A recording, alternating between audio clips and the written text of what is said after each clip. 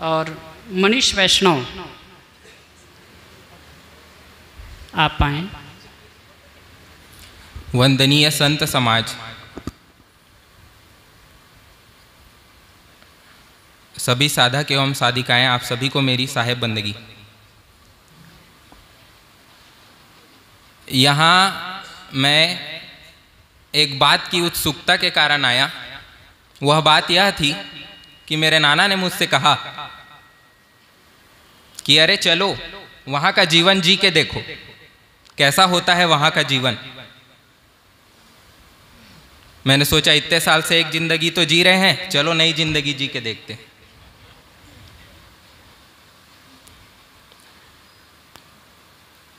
यहाँ आते ही, जैसे ही मैंने आश्रम में कदम रखा, यहाँ की हवा, यहाँ का वातावरण इतना शुद्ध और पवित्र है। अपने भाषा में कहूँ तो यहाँ की वाइब काफ़ी अच्छी है। मैं उनका आभार व्यक्त करना चाहूँगा कि मेरे नाना जी ने अपने सानिध्य में मुझे यहाँ लाया। उनका मैं बहुत बहुत आभारी हूँ। इंसान उन चीज़ों से ज़्यादा प्रभावित होता है कि सामने वाले से आपको इन्फॉर्मेशन मिले और वो चीज़ आपके लाइफ में घटित हो। एग्ज़ाम्पल के लिए, जब मैं साधना में बैठा था, मेरे मन में कई प्रकार के विचार उठ रहे थे। मुझे समझ नहीं आ रहा था वो विचार क्यों उठ रहे हैं। कई विचार तो विचलित करने वाले थे। मैं सोच रहा हूँ, मैं ये सब क्या सोच रहा हूँ?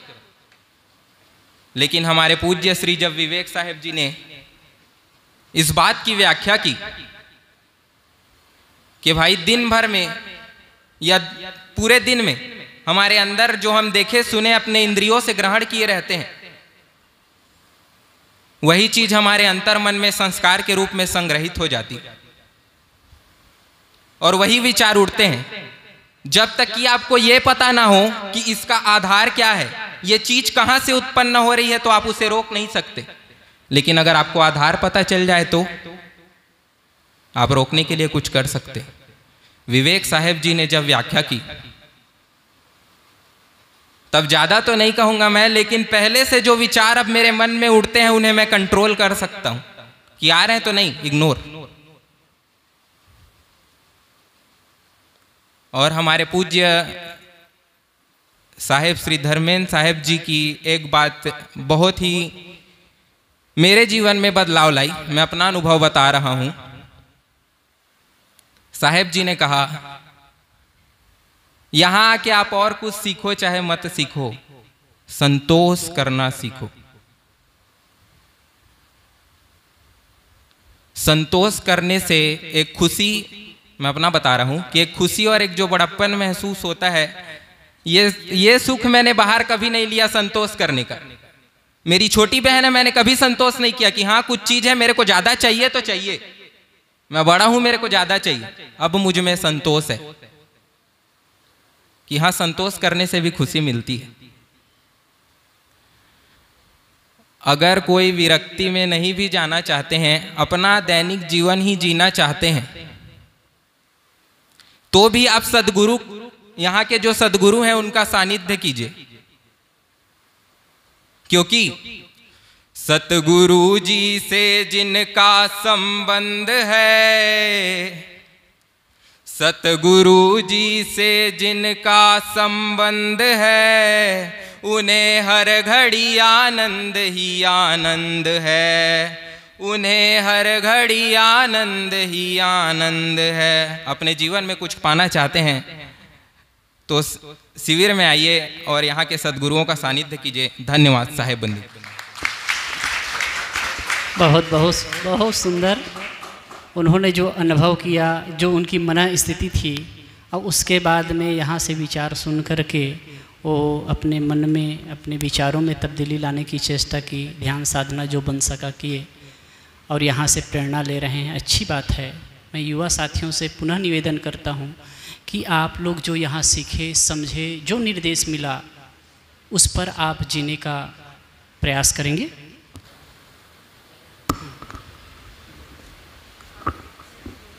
ये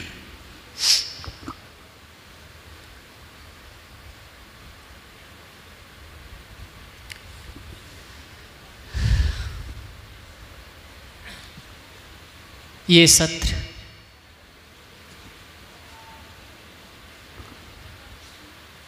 अभी हम लोग भजन श्रवण कर रहे थे और एक साधक जो गुजरात से आए हैं, चमन जी, उनके अनुभव भी अब हम जो यहाँ साधना में आए और ख़ास करके युवा साथी, एक तो युवाओं को समय नहीं रहता, दूसरी बात है मन भी नहीं लगता, लेकिन फिर भी समय निकाल करके यहाँ आए, साधना में बैठे, सात दिन तक के यहाँ के नियम का पालन किए। उन्होंने जीवन में क्या अनुभव किया, क्या उनको परेशानी आई क्या वो महसूस किए? क्या उनको अच्छा लगा? इस पर हम उनके विचार, उनके राय जानना चाहेंगे। आए, पहले भूमिका साहू। हाँ आपका क्या ना हाँ जो। मोनिका? नोमिका। अच्छा अच्छा। हाँ हाँ। हाँ ठीक बोलो। बोली बोली बोली के बाद हाँ हाँ।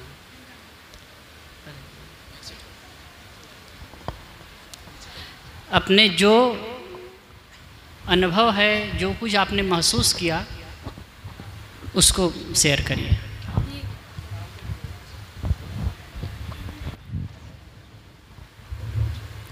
साहेब बंदगी, साहेब। सदगुरु कबीर साहेब की जय। मेरा ये ध्यान शिविर का दूसरा साल है। मैं सबसे पहले 2021 में आई थी। उस टाइम मेरे को ध्यान के बारे में ज़्यादा कुछ नहीं पता था, पर यहाँ आके बहुत सारा अनुभव प्राप्त हुआ।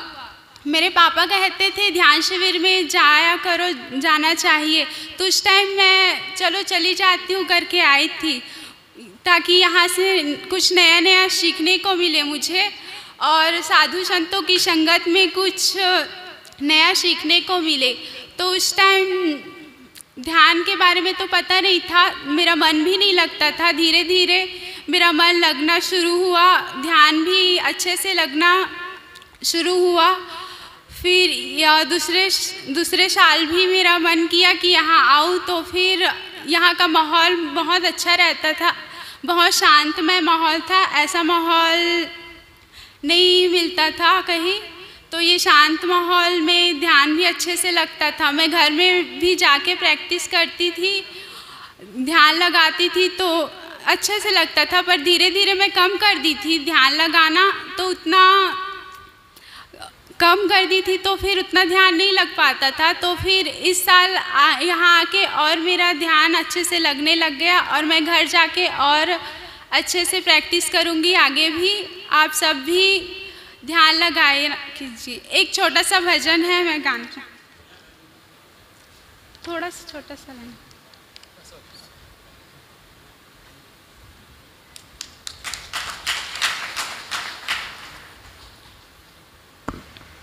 जो बच्चे समय लेकर के आते हैं, एक तो पढ़ लिख रहे हैं, बिज़ी समय रहता है उनका, उसमें से टाइम लेकर के आते हैं और सात दिन तक के बैठे, ध्यान किए बहुत बड़ी बात है। मोनिका भोरिंग से हैं? आप भी आए?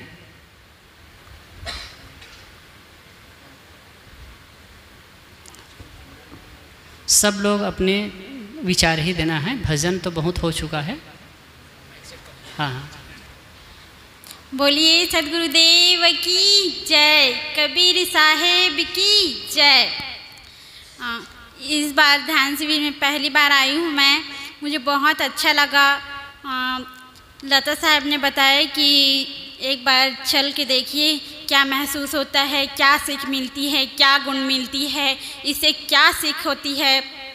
मुझे बहुत अच्छा लगा, लेकिन मैं पहले बार आई हूँ तो और बहुत संत भक्तों और साध्वी सबसे पहचान हुई, ज्ञान हुई।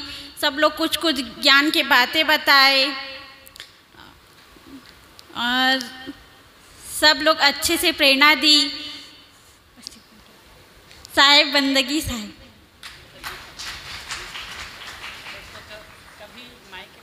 नहीं रहते हैं। लेकिन इतना साहस करके कुछ कह रहे हैं, धन्यवाद है। आगे,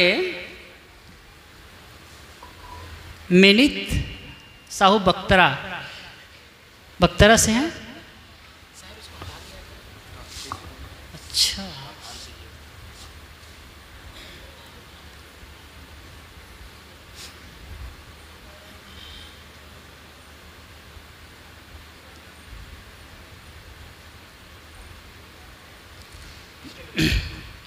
बोलिए, सदगुरुदेव की जय। मैं साप्ताहिक शिविर में सब, सबसे फ़र्स्ट बार आई हूँ। मुझे बहुत ही अच्छा लगा ये ध्यान शिविर में। दो दिन तक तो मेरे बच्चे को याद है। छोटे छोटे बच्चे हैं करके। फिर धीरे धीरे मैं अच्छे से बैठा। फिर आज तो और एकदम अच्छा लग रहा है। साहेब देखो भाई, मन कहाँ कहाँ खींचता है। बच्चों को, छोटे बच्चों को छोड़ करके आए हैं, स्वाभाविक सी बात है। लेकिन उसके बाद भी बढ़िया से मतलब चार मीटिंग यहाँ व्यवस्थित रूप से बैठती थी। और उसके बाद में जब वहाँ सेवा का अवसर होता था सेवा में भी जाती थी। धन्यवाद है। कल्याणी गाता पार कल्याणी है। सेवा में। अब मैं साथियों से राजकुमार जी बिलारी, युवा साथियों से। राजकुमार? का? भरत कुमार अच्छा।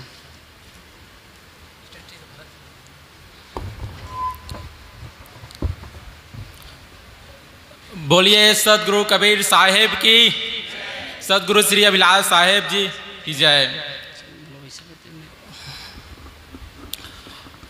पूज्य गुरुदेव, वंदनीय संत समाज और सम्मानीय मेरे साधकगढ़ मैंने जो पढ़ाई है बचपन की, उसे सरस्वती शिशु मंदिर में किया है। वहाँ एक सदाचार पाठ्य पुस्तक होती थी। उसमें उसमें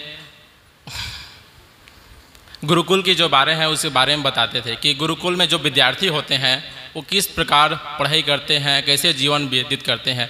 जो गुरुकुल में बच्चे विद्यार्थी होते हैं, वे नित्य सुबह उठते हैं ब्रह्म मुहूर्त में और अनुशासन में रहते हैं और जो जो भी काम है, अपना खुद के स्वयं करते हैं। मतलब वहाँ जो बच्चे रहते हैं, वे बहुत ही स्वावलंबी, आत्मनिर्भर और बहुत ही मेघावी होते हैं।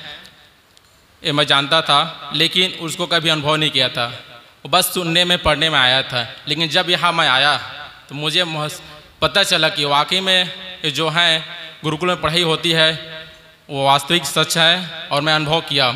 यहाँ आया तो पहले मैं बहुत ही एकदम कमज़ोर था, क्योंकि सुबह बहुत लेट से उठता था और रात को बहुत देर से सोता था। लेकिन जब यहाँ सुबह उठा योगा किया, ध्यान किया। इससे मेरे शरीर में बहुत ही एनर्जी आई, बहुत ही ज़्यादा। बहुत ही परे आलसी था। मैं ड्यूटी भी जाता था, बहुत कमज़ोर था। लेकिन अब इतना एनर्जी आ गई शरीर मेरी बहुत बहुत ही ज़्यादा। बहुत ही ज़्यादा।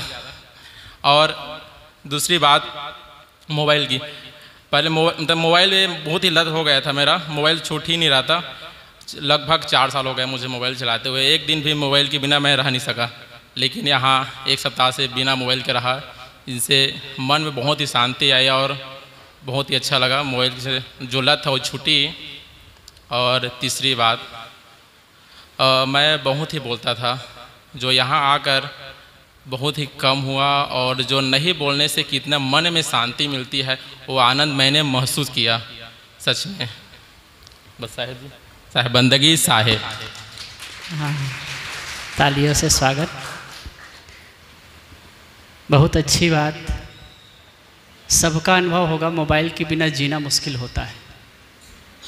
लेकिन अगर कहीं ऐसे ही कहे कि आप दस दिन मोबाइल नहीं छूना है तो कितना आप सोचेंगे, बड़ा कठिन लगेगा। लेकिन कम से कम यहाँ छः दिन तक मोबाइल जमा करके रहे। आप जीवन में एक संकल्प ले लीजिए कि रोज़ तो आपके पास में रहता है मोबाइल, लेकिन कम से कम 10 से 12 घंटा आप उसको अपने से अलग रखेंगे या स्विच आप फ़्लाइट मोड में रखेंगे। आप जित, ये जितने भी आजकल नए नए संसाधन आ रहे हैं नए नए टेक्नोलॉजी का विकास हो रहा है, इससे फ़ायदा तो है, लेकिन यदि इसका दुरुपयोग करेंगे तो बहुत ज़्यादा नुकसान है। इसलिए इसमें संयम की आवश्यकता है। कल भी हमने चर्चा की थी कि किस प्रकार मोबाइल का दुरुपयोग करके आज युवा वर्ग गलत दिशा में जा रहा है, इस पर आप लोग चिंतन मनन करें और कम से कम मोबाइल का उपयोग करें और जब जो भी उपयोग हो, सदुपयोग हो, इसका ख्याल रखेंगे।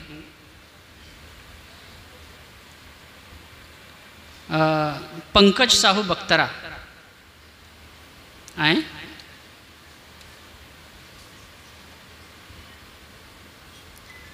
सब नए नए उम्र के बच्चे हैं और पहली बार यहाँ भाग लिए हैं। इसलिए हम इन लोगों का ही अनुभव जानना चाहेंगे। बोलिए सत्य कबीर साहेब की जय। साहेब बंदगी साहेब। मैं यहाँ पहली बार आया हूँ। मुझे एक दो दिनों में ऐसा लगा कि मैं कहाँ फंस गया। उसके बाद लगा कि हाँ साहेब जी अच्छे बता रहे हैं। विचार आया। तो लगा यहाँ अच्छा अनुभव लगा। फिर लगा कि ऐसी जीवन अच्छी होती है।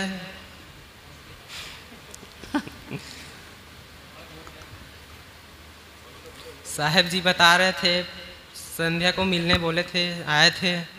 बोले, सही संगति रखना, सही लोगों के साथ रहना और मोबाइल में देख देख रहे हो तो भजन सत्संग सुनिए। गलत राह पर मत चलना। मुझे यहाँ ऐसा अनुभव हुआ कि मेरे पास शब्द नहीं है बताने के लिए। साहेब बंदगी साहब बहुत बहुत धन्यवाद। मैं देखा युवा साथियों को कुछ लोग मेरे से अलग से मिल रहे थे। तो मैं कहा सब के सब युवा जो हैं, भाई लोग हैं, यहाँ मिले। मिले तो अपनी अपनी बातें शेयर कर रहे थे। और मैं कुछ कहने लगा, साहेब जी से भी चर्चा होने लगी। तो उनको अच्छा लगा और जीवन को सही रास्ते पर लाने के लिए संत गुरुजन का सानिध्य, सत साहित्य का अध्ययन और समय समय से आत्ममंथन की आवश्यकता होती है। और इसके लिए ज़रूरी है कि आप संतों के साथ में जुड़े रहें।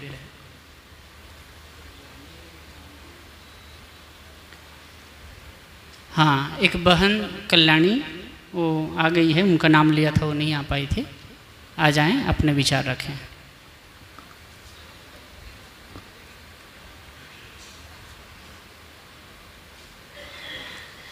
बोलिए सदगुरु कबीर साहेब की।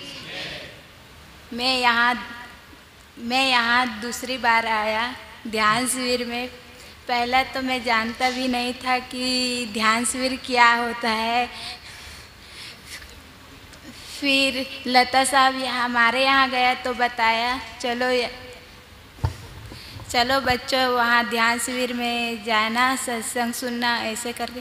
तो पिछले बार आया तो मैं ध्यान शिविर करते समय मेरे को यह अनुभव हुआ कि यहाँ से चली जाओ ऐसे करके, लेकिन दो तीन दिन यहाँ रुका तो मैं जाने का मन नहीं हुआ। फिर ना इस साल अपने मर्ज़ी से आया। साहेब बंदगी, बहुत अच्छा लगा लेकिन यहाँ आने से। अच्छे अच्छे विचार मिलते हैं और अच्छे अच्छे ज्ञान भी मिलते हैं। बच्चों को बहुत संस्कार भी मिलते हैं साहेब बंदगी साहेब। बच्चे यहाँ पढ़ने वाले हैं, लेकिन हिंदी में पढ़ते तो ज़रूर हैं, लेकिन बोलने की भाषा बोली छत्तीसगढ़ी है तो छत्तीसगढ़ी में अभ्यास है पीछे से शायद। हाँ तो अभ्यास बोलने का छत्तीसगढ़ी में हिंदी बोलना होता है तो कठिन हो जाता है लेकिन उनका भाव देखिए। ये धन्यवाद के योग्य है।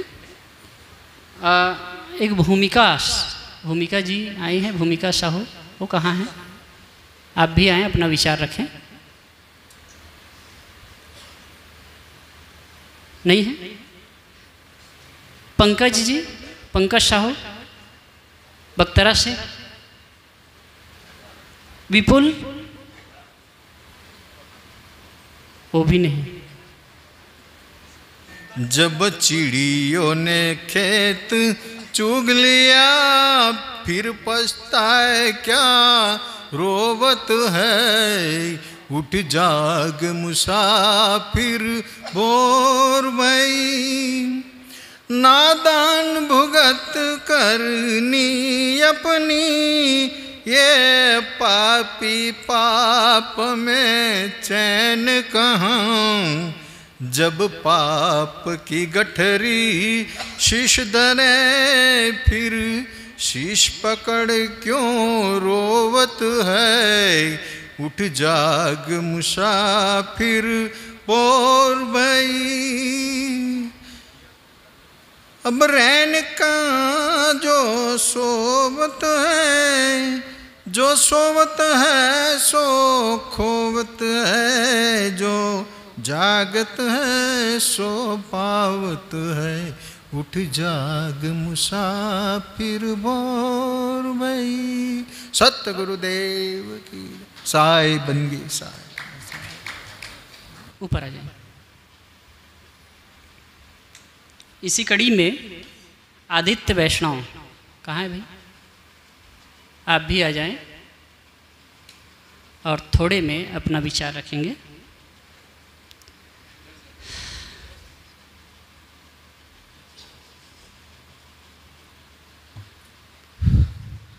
बोलिए, सदगुरुदेव की।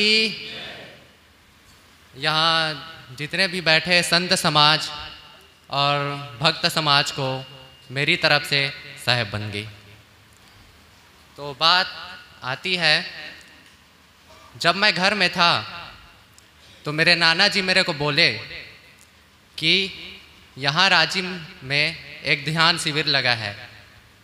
तो ध्यान शिविर का नाम सुनते ही मन में ये आता है कि यहाँ के लोग मतलब सादा जीवन कुछ मतलब नॉर्मल गाते, खाते, पीते, पहनते मतलब रहन सहन एकदम सामान्य है। तो ये सुन के मन में ये आता है कि क्या जाओगे फालतू ऐसा करके। ये अपनी भाषा में। फिर मैं सोचा कि लाइफ में सब चीज़ ट्राई करना चाहिए। तो फिर जब मैं यहाँ आया तो आश्रम के बाहर जो गेट है, उसके बाहर का माहौल और अंदर के माहौल में बहुत अंतर है। जैसे ही यहाँ पाँव रखेंगे, यहाँ की हवा, यहाँ जो आसपास का माहौल है, बहुत ही शांतिदायक है।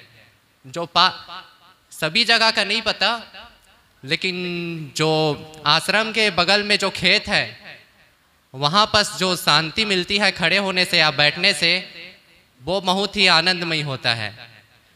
तो यहाँ आने में मैं पाँच ही दो यहाँ आने पर मैं कुछ ही चीज़ बस गिनाऊँगा जो सीखा। सरलता, सहजता, सभ्यता, संस्कार और अनुशासन। ये पाँच चीज़ इस आश्रम में बहुत भर कर है। जैसे यहाँ रहने पर, आसपास लोगों को देखने पर यह पता चलता है कि वो लोग कितने सभ्य सिंपल हैं। तो लगता है कि ये कैसे मतलब ये कैसे मतलब कैसे हो सकता है ये सब? लेकिन जैसे जैसे यहाँ रहे, सात दिन का शिविर रहा, जैसे जैसे एक एक दिन बीतता गया, उसमें पता चला कि वास्तव में ये इन सब चीज़ों में कुछ तो बात है। तो अंत में यही कहना चाहूँगा कि किसी भी आदमी में दया, क्षमा, संतोष यह भावना होनी चाहिए। इसी प्रार्थना के साथ मैं अपनी वाणी को विराम देता हूँ। बोलिए, साहेब बंदगी साहेब। बहुत सुंदर। आए और एक बच्ची भूमिका वो आई है। उनका नाम लिखवा दें। हाँ कोई बात नहीं। अर्चना बहन जो कहाँ से हैं? करेली से। आप आए। अपने थोड़े में एक विचार विचार दीजिए और एक छोटा सा भजन।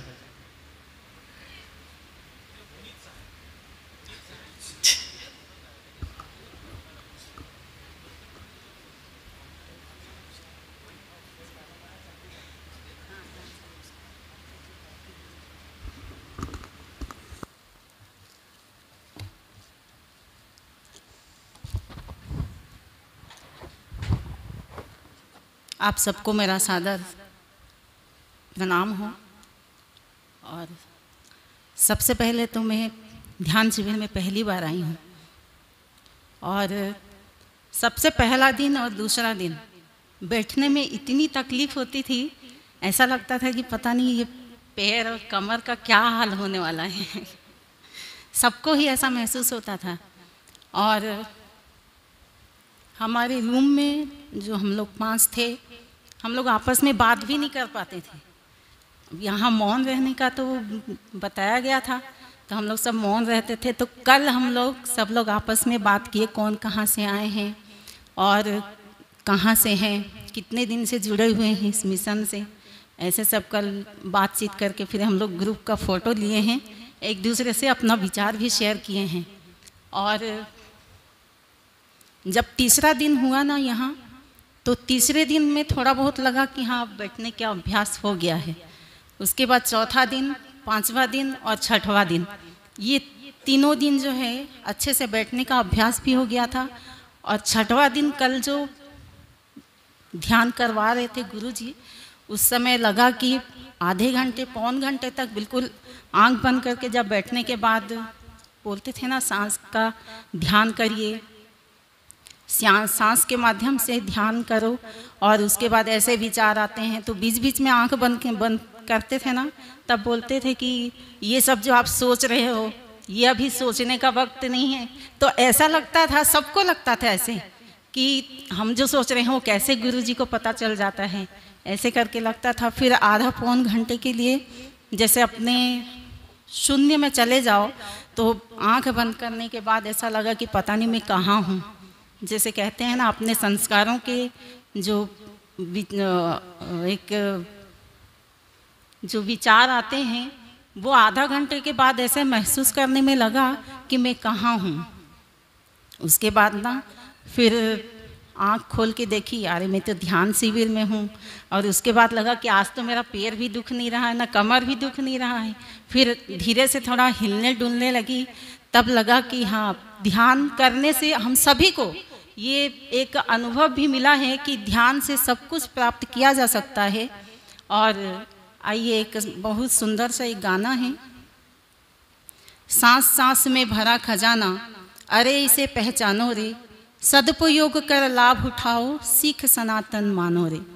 सांस सांस में ही हमारा ये खजाना भरा हुआ है। तो आइए हम इस जीवन का सदुपयोग कैसे करें? इस भजन के माध्यम से हम सभी सुने।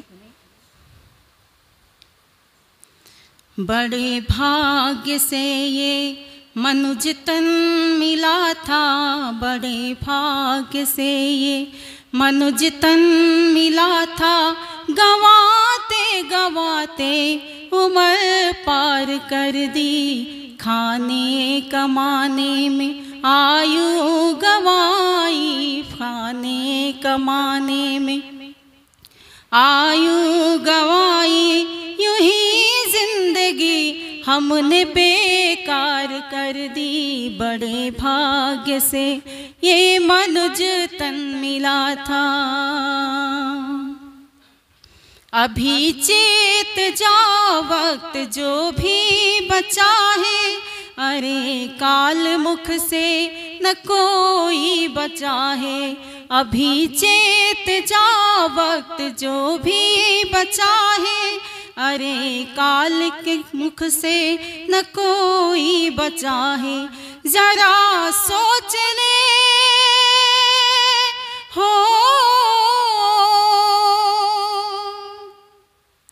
जरा सोच ले, साथ ले जा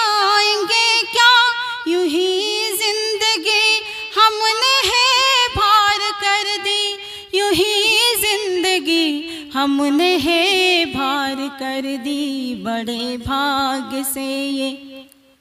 मनुज तन मिला था बड़े भाग से, ये मनुज तन मिला था। है संसार सागर में जीवन के नैया है पतवार सतकर्म सदगुरु खेवैया हे संसार सागर में जीवन के नैया हे पतवार सतकर्म सदगुरु खेवैया माया के चक्कर में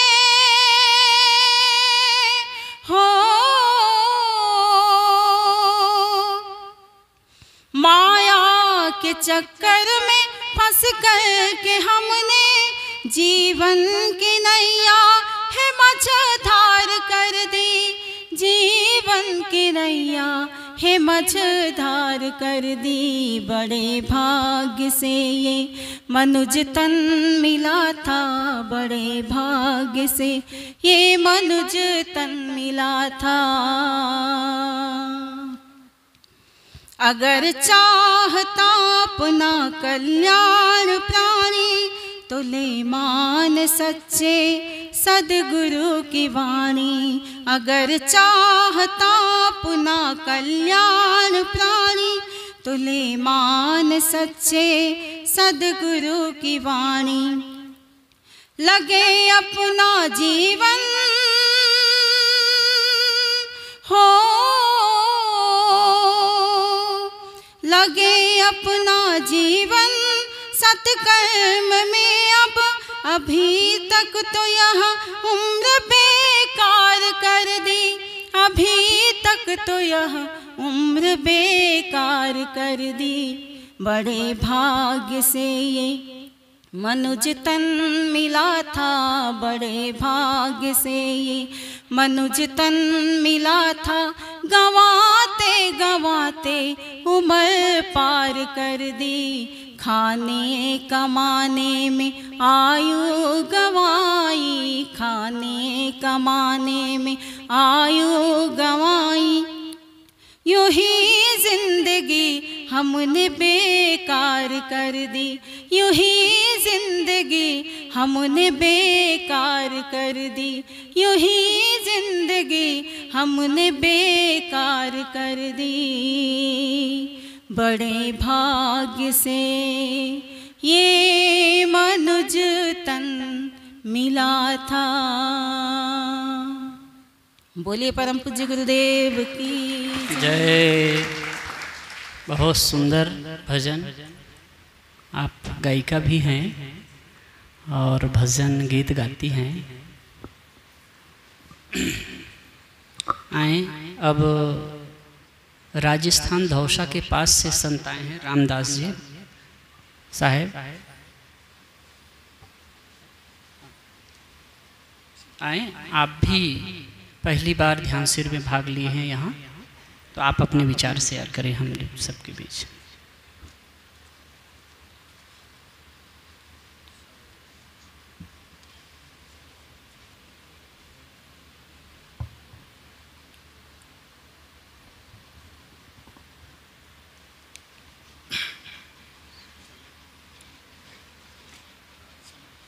थोड़े थोड़े।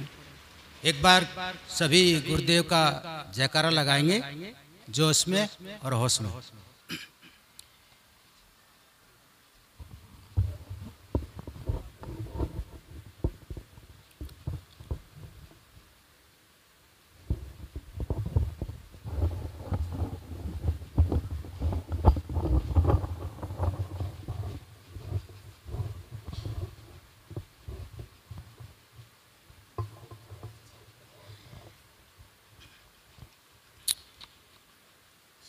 बोलिए सतगुरु देव की जय।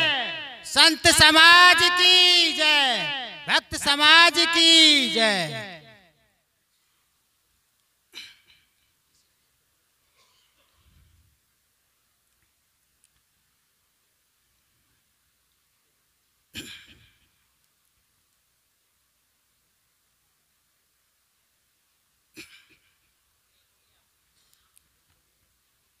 बंदनिए गुरु परख को तो बार बार कर ज़ोर।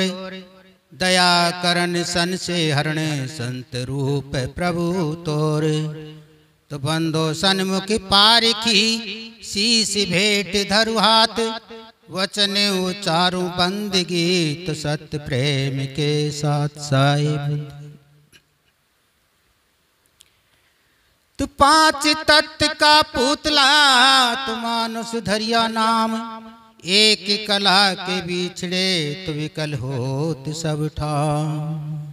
कि पाँच तत्व का पुतला, मानुष धरिया नाम, एक कला के बिछड़े विकल हो सब ठाम। ये पाँच तत्व का पुतला है, शरीर है, मानुष नाम धरे। अगर एक कला न हो तो ये कोई काम का नहीं। एक कला कौन सी है? वो है ज्ञान कला, चेतन कला। अगर मनुष्य के अंदर ज्ञान न हो, चेतना न हो तो सब बेकार है। साहिब जी का आदेश हुआ, मैं प्रवचन करता तो नहीं वज़न बांधे से बोलता हूँ, बाकी साहिब जी, मैं वज़न नहीं बोलूँगा। मैं ध्यान के बारे में बहुत कुछ सुनता था कि भाई ध्यान करना चाहिए, ध्यान करना चाहिए। मैंने गरीब साहब का एक भजन में सुना। तू चेतन खुदा खुद आप है धरता है किसका ध्याना? तो चेतन खुदा खुद आप है धरता है किसका ध्याना? तो मतलब किसका ध्यान करना है? पर बाकी में मैं जब यहाँ आया तो मेरे को ध्यान का काफ़ी अनुभव हुआ काफ़ी बल मिला। क्योंकि ध्यान ही अपने आप में रुकने का एक साधन है। ध्यान के अलावा अपने आप में नहीं रुक सकता। बस मैं इतना ही कह करके। बोलिए सदगुरुदेव की जय। बहुत सुंदर। कितने लोगों में एक वहम है कि ध्यान मतलब किसी देव का, कोई ईश्वर का, किसी कल्पना का। Hello hello hello. तो किसी का ध्यान करना, कई जगह पूछते हैं कि किसका ध्यान करना? किसी का ध्यान नहीं करना होता है, बारंबार कहा जाता था, किसी का ध्यान न करना ही ध्यान है। कुछ न करना ही ध्यान है, वर्तमान में होना ध्यान है, अपने में होना ध्यान है। और एक शब्द में कहें तो ध्यान न करना ध्यान है। ध्यान न करना ध्यान है। आप कभी जब भी बैठते हैं, जो कब कुछ काम कर रहे हैं, तब तो बात अलग है। लेकिन जब स्थिर होते हैं तो कुछ ना कुछ करते हैं, कुछ ना कुछ ध्यान करते हैं। कहीं किसी की याद आ रही है कहीं किसी की याद आ रही। है घर की, खेत की, दुकान की, बाड़ी की, मित्र की, दोस्त की, दुश्मन की। कह कि ध्यान न करना ध्यान है, किसी का ध्यान न करें, बस अपने आप में ठहर जाए। ये ध्यान का असली रूप है। और इस पर बहुत चर्चा हुई। जैसे साहिब जी ने कहा कि भाई उनके मन में भी थोड़ा था, लेकिन यहाँ आकर के लगा कि भाई अपने में होना ध्यान है। और यही वास्तविक ध्यान है, जो सांख्य, योग और कबीर साहब के सहज समाधि पर इस पर चर्चा हो चुकी है। अब यशवंत जी भी यहाँ से जुड़े हैं, और मैं देखा कि एकदम कंटिन्यू रोज़ ध्यान करते रहें, चारों मीटिंग बैठते रहें। मैं आपसे भी निवेदन करूँगा कि आप भी अपने विचार हम सबके बीच शेयर करें कुछ मिनटों में।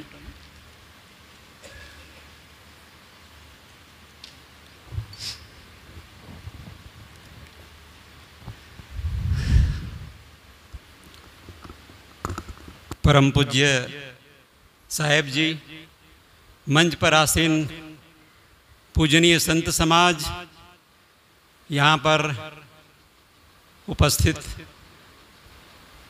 सुश्री चंद्रकला साहेब जी, सुश्री समता साहेब, सुश्री सुमन साहेब और सभी साध्वीगण शिविर में भाग लेने आए हुए हमारे सभी माता बहनें और भाई और हमारे बच्चे।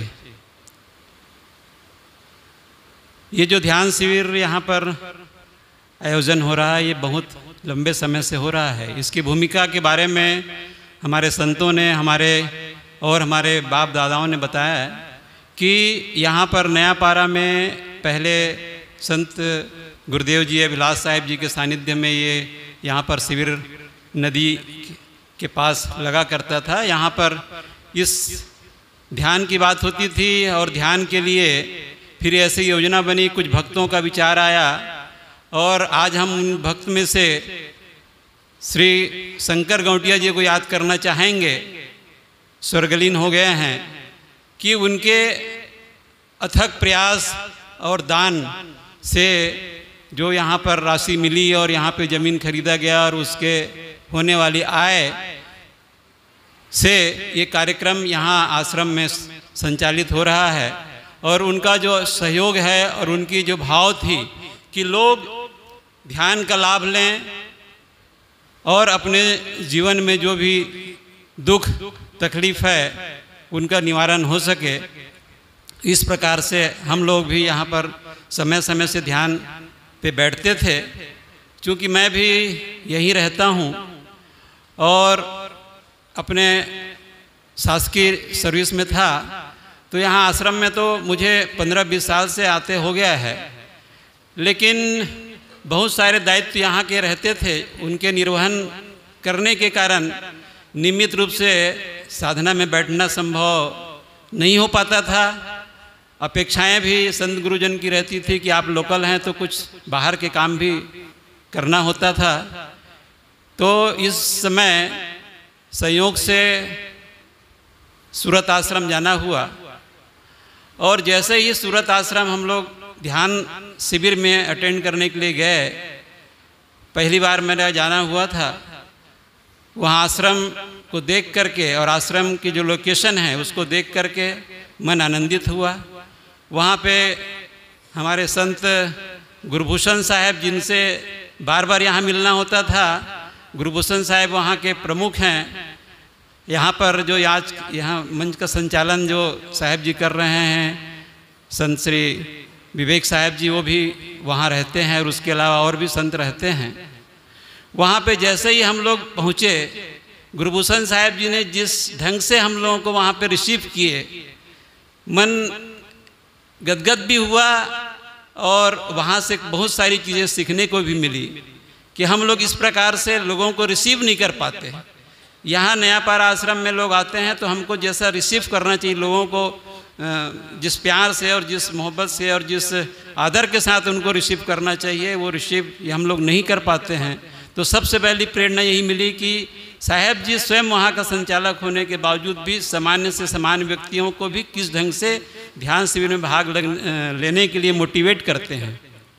इसका प्रत्यक्ष उदाहरण यही है कि इस बार जो शिविर हुआ, उसमें अभी जितने बच्चों ने अपने ध्यान, अपने शेयर किए, उसमें सबने कहा कि मेरे दादाजी ने मुझे प्रेरणा दिया, मेरे नाना जी ने प्रेरणा दिया, किसी ने नहीं कहा कि मेरे पापा ने प्रेरणा दिया। तो पापा का रोल वास्तविक में हम लोग शायद नहीं कर पा रहे हैं, इसको विचारने की ज़रूरत है। दादा तो उस उम्र में जा चुके रहते हैं, उनका सारा अनुभव रहता है नाना जी का अनुभव रहता है, उस उम्र में जा चुके रहते हैं, वो किए हों, ना किए हों जितना भी उनको अनुभव हुआ रहता है उस आधार पे वो सोचते हैं कि मैं अपने बेटे को तो नहीं बोल पाया, लेकिन अपने नाती को ज़रूर बोल सकता हूँ। और नाती और दादा में इस प्रकार का संबंध रहता है कि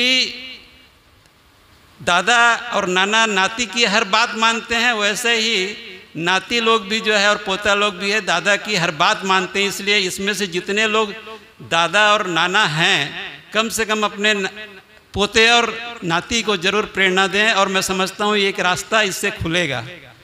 ये मुझे अनुभव हुआ।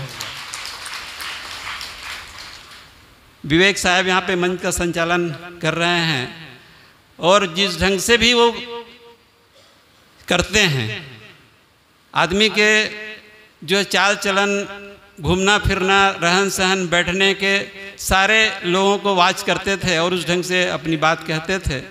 गुरुदेव जी का हम सब के ऊपर बड़ा उपकार है कि इस प्रकार के आयोजन यहाँ पर नया पारा में होते रहा है। मेरा स्वयं का अनुभव की बात है कि पिछले जो शिविर मैंने सूरत में अटेंड किया, जहाँ पे मुझे अन्य दायित्वों का निर्वहन नहीं करना पड़ता था, पूरा टाइम हम लोग वहाँ पर ध्यान में जिस टाइम में रहता था, बैठते थे और हमारे और साथी लोग गए थे। तो वहाँ बैठ कर के सही में ध्यान लगा और उसका अनुभव हुआ। तो मैंने पाया और वही अनुभव यहाँ पर भी, हुआ।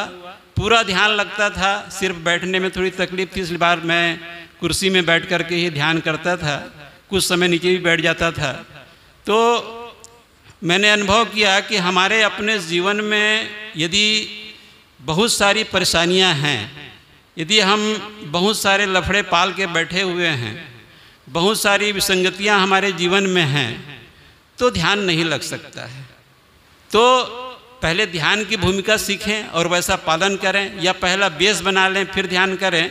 वाइस वर्षा आखिरकार जैसे जो कुछ भी हमने सीखा है और जो अनुभव किया है कि ये हमारे नियमित दिनचर्या में हमारा मन कहीं ना कहीं उलझा रहता है और यहाँ आकर के ध्यान करके हम उस सारी जो नकारात्मक बातें हैं उसको हम भूलने का प्रयास करते हैं, छोड़ने का प्रयास करते हैं।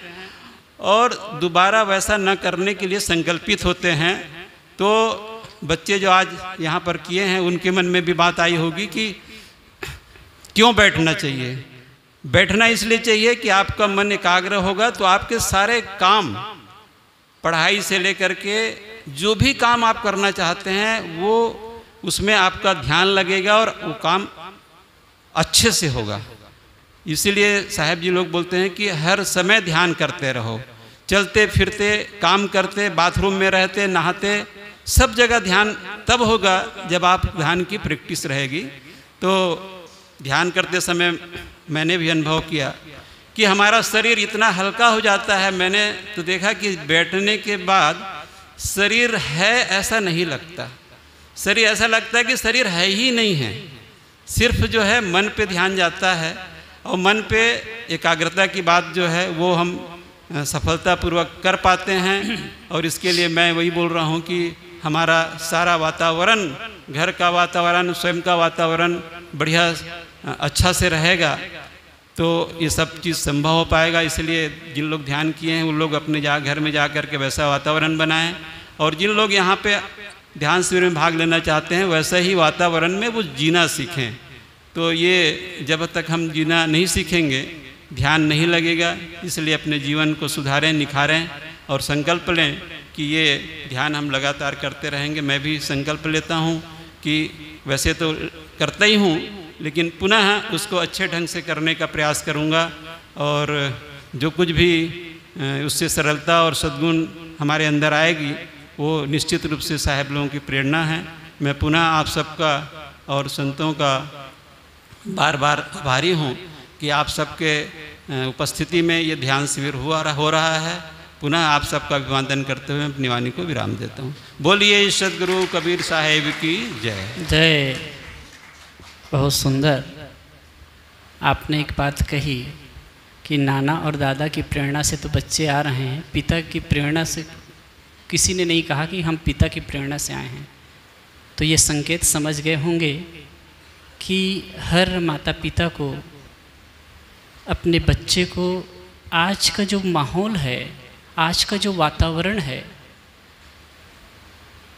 जिस प्रकार भौतिकता की ओर जो अंधा, अंधी दौड़ में लोग लग रहे हैं, जिस प्रकार नशा, व्यसन और अनेक प्रकार की जो मतलब गलत चीज़ों में बच्चे पढ़ रहे हैं, उनसे यदि बचाना है तो आप अपने घर का माहौल आध्यात्मिक बनाइए और उनको, बच्चों को चाहे लड़की हो, लड़के हों, उनको समय समय से ऐसी जगह में लाएँ, वो ध्यान करना सीखें, अपने में होना सीखेंगे तो निश्चित ही इन बुराइयों से बचे रहेंगे। अब ये आप स्वयं सब ये करें और लोगों को प्रेरणा दें, क्योंकि जो बच्चे होंगे ना, जैसे उनकी स्थिति बनेगी, वैसे ही आपका भी भविष्य होने वाला है। मैं कई परिवारों को जानता हूँ कि बच्चे बिगड़ गए माता पिता रोते हैं, क्या करें? इसलिए आप सबका दायित्व है। बहुत सारे लोग हैं, हमारे साध्वी बहनें भी एकदम व्यवस्थित रूप से सात दिन तक के ध्यान की हैं, लेकिन समय का तगाजा है, इसलिए हम सबको समय नहीं दे पाएँगे। एक साध्वी बहनों की तरफ़ से एक भजन गाएँगी, उसके बाद दो तीन के हम विचार सुनेंगे। साध्वी तारा। अच्छा वो क्या नाम? हाँ बच्ची, आ जाओ।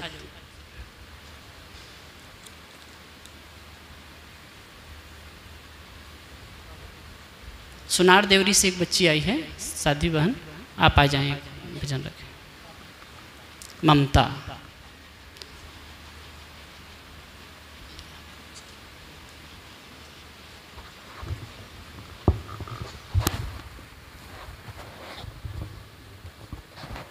हेलो।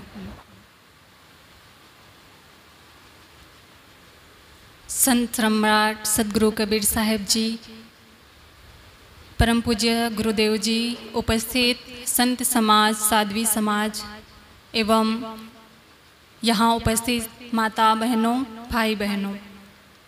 आप सभी के समक्ष मुझे भी श्री साहेब जी द्वारा आज्ञा हुई है, एक भजन प्रस्तुत करने की आज्ञा पालनार्थ एक भजन प्रस्तुत है। किसी प्रकार की त्रुटि अगर होती है तो मैं क्षमा प्रार्थी हूँ। बोलिए, सदगुरुदेव की जय। ध्यान मूलम गुरुर्मूर्ति। पूजा मूलम गुरुपदम्। मन्त्रमूलं गुरुर्वाक्यं मोक्षमूलं गुरुकृपा। गुरुर्देवो गुरुर्धर्मो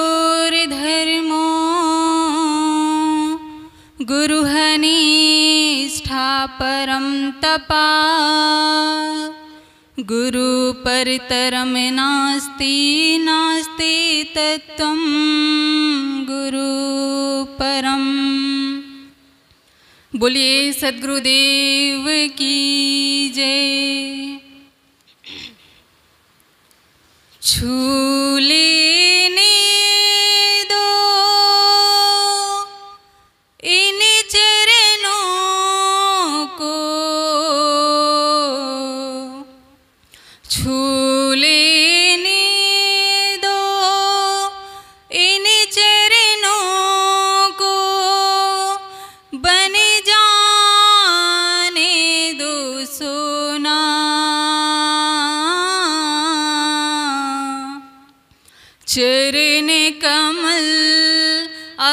नहीं खोना चरण कमल। अब नहीं खोना। छू लेने दो इन चरणों को। छू लेने दो इन चरणों को। बन जाने दो सोना।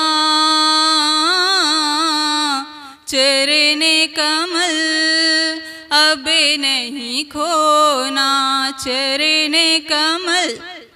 अब नहीं खोना, तुम हो पारस, मैं हूँ लोहा।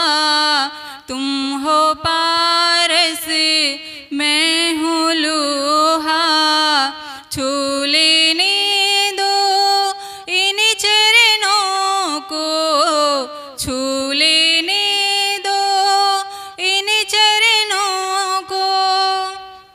बन जाने दो सोना। चरण कमल अब नहीं खोना। चरण कमल अब नहीं खोना। न खोना न खोना।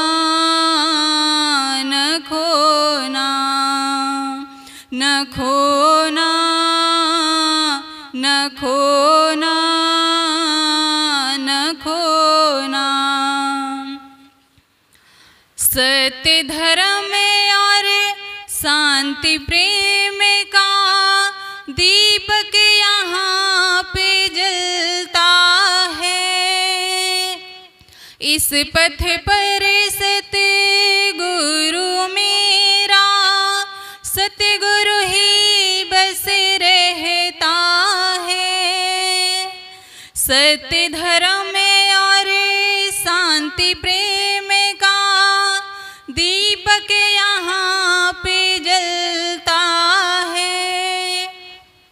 इस पथ पर सत गुरु मेरा, सतगुरु ही बस रहता है।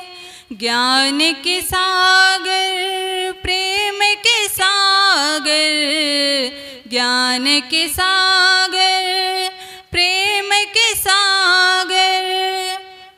सागर में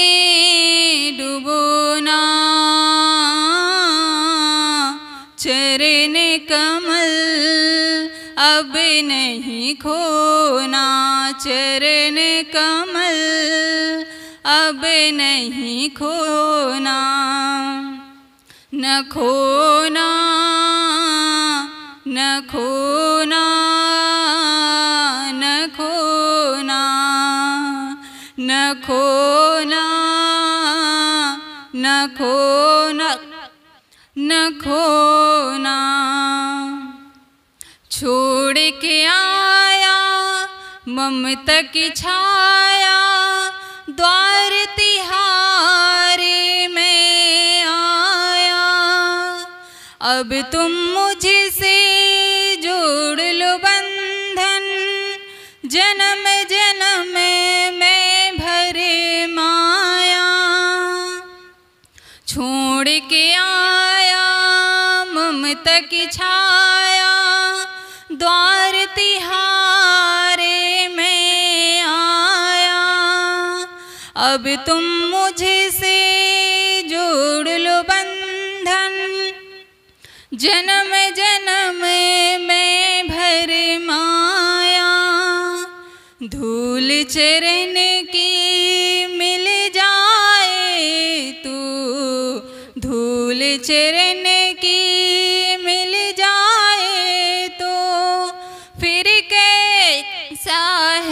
रोना चरण कमल अब नहीं खोना। चरण कमल अब नहीं खोना। छू लेने दो इन चरणों को छू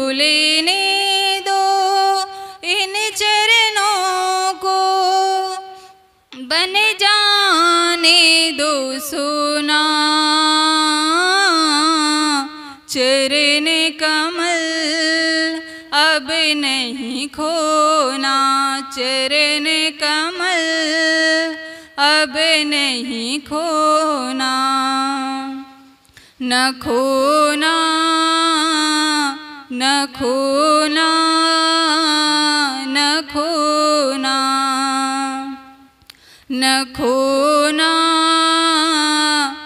खोना न खोना ज्ञान के दाता, प्रेम के सागर, खोया प्यार जगा दो आकर। जन्म मरण का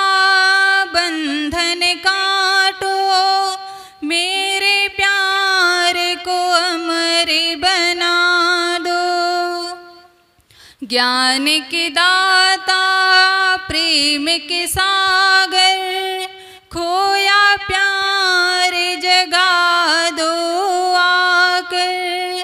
जन्म मरण का बंधन काटो, मेरे प्यार को अमर बना दो। तेरे नाम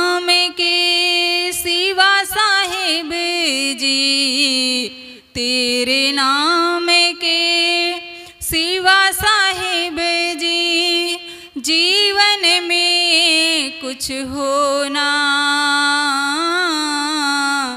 चरण कमल अब नहीं खोना। चरण कमल अब नहीं खोना। छू लेने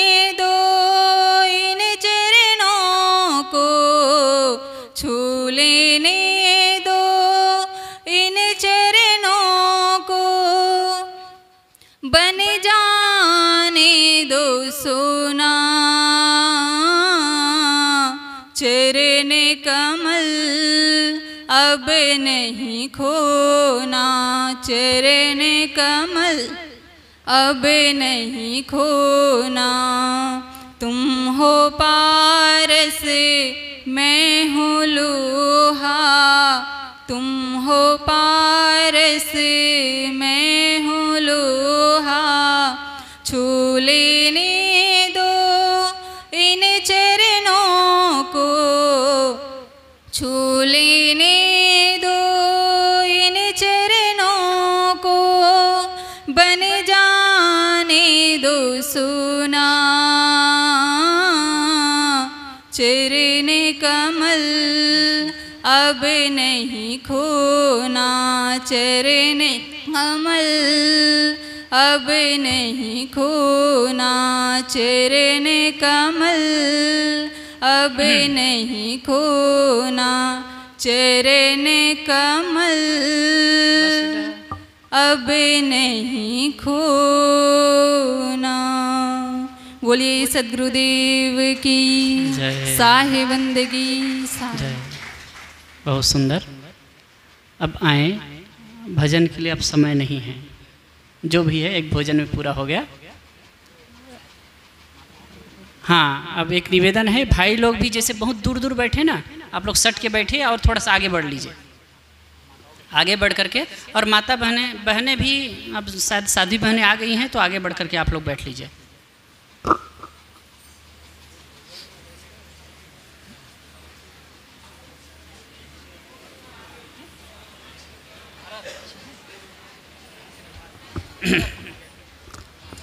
हाँ जल्दी से आप लोग बैठ, बढ़ करके बैठे। नहीं, कुछ कुछ, दो दो लाइन आप छोड़ करके, एक लाइन छोड़वा दें।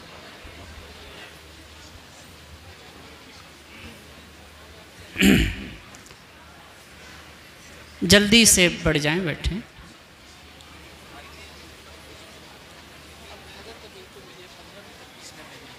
नहीं, पंद्रह नहीं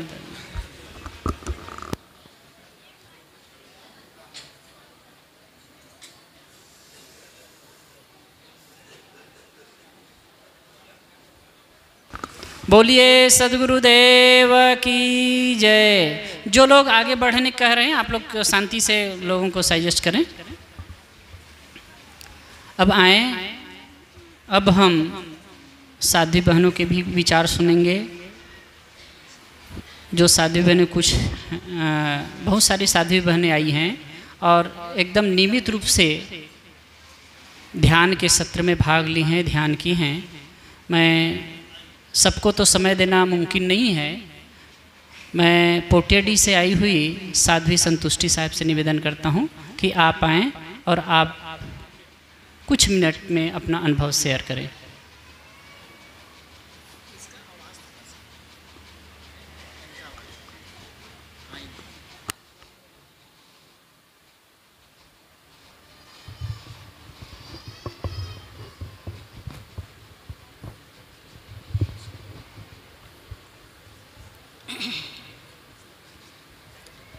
बोलिए सदगुरु कबीर साहेब की जय। संत समाज की, भक्त समाज की।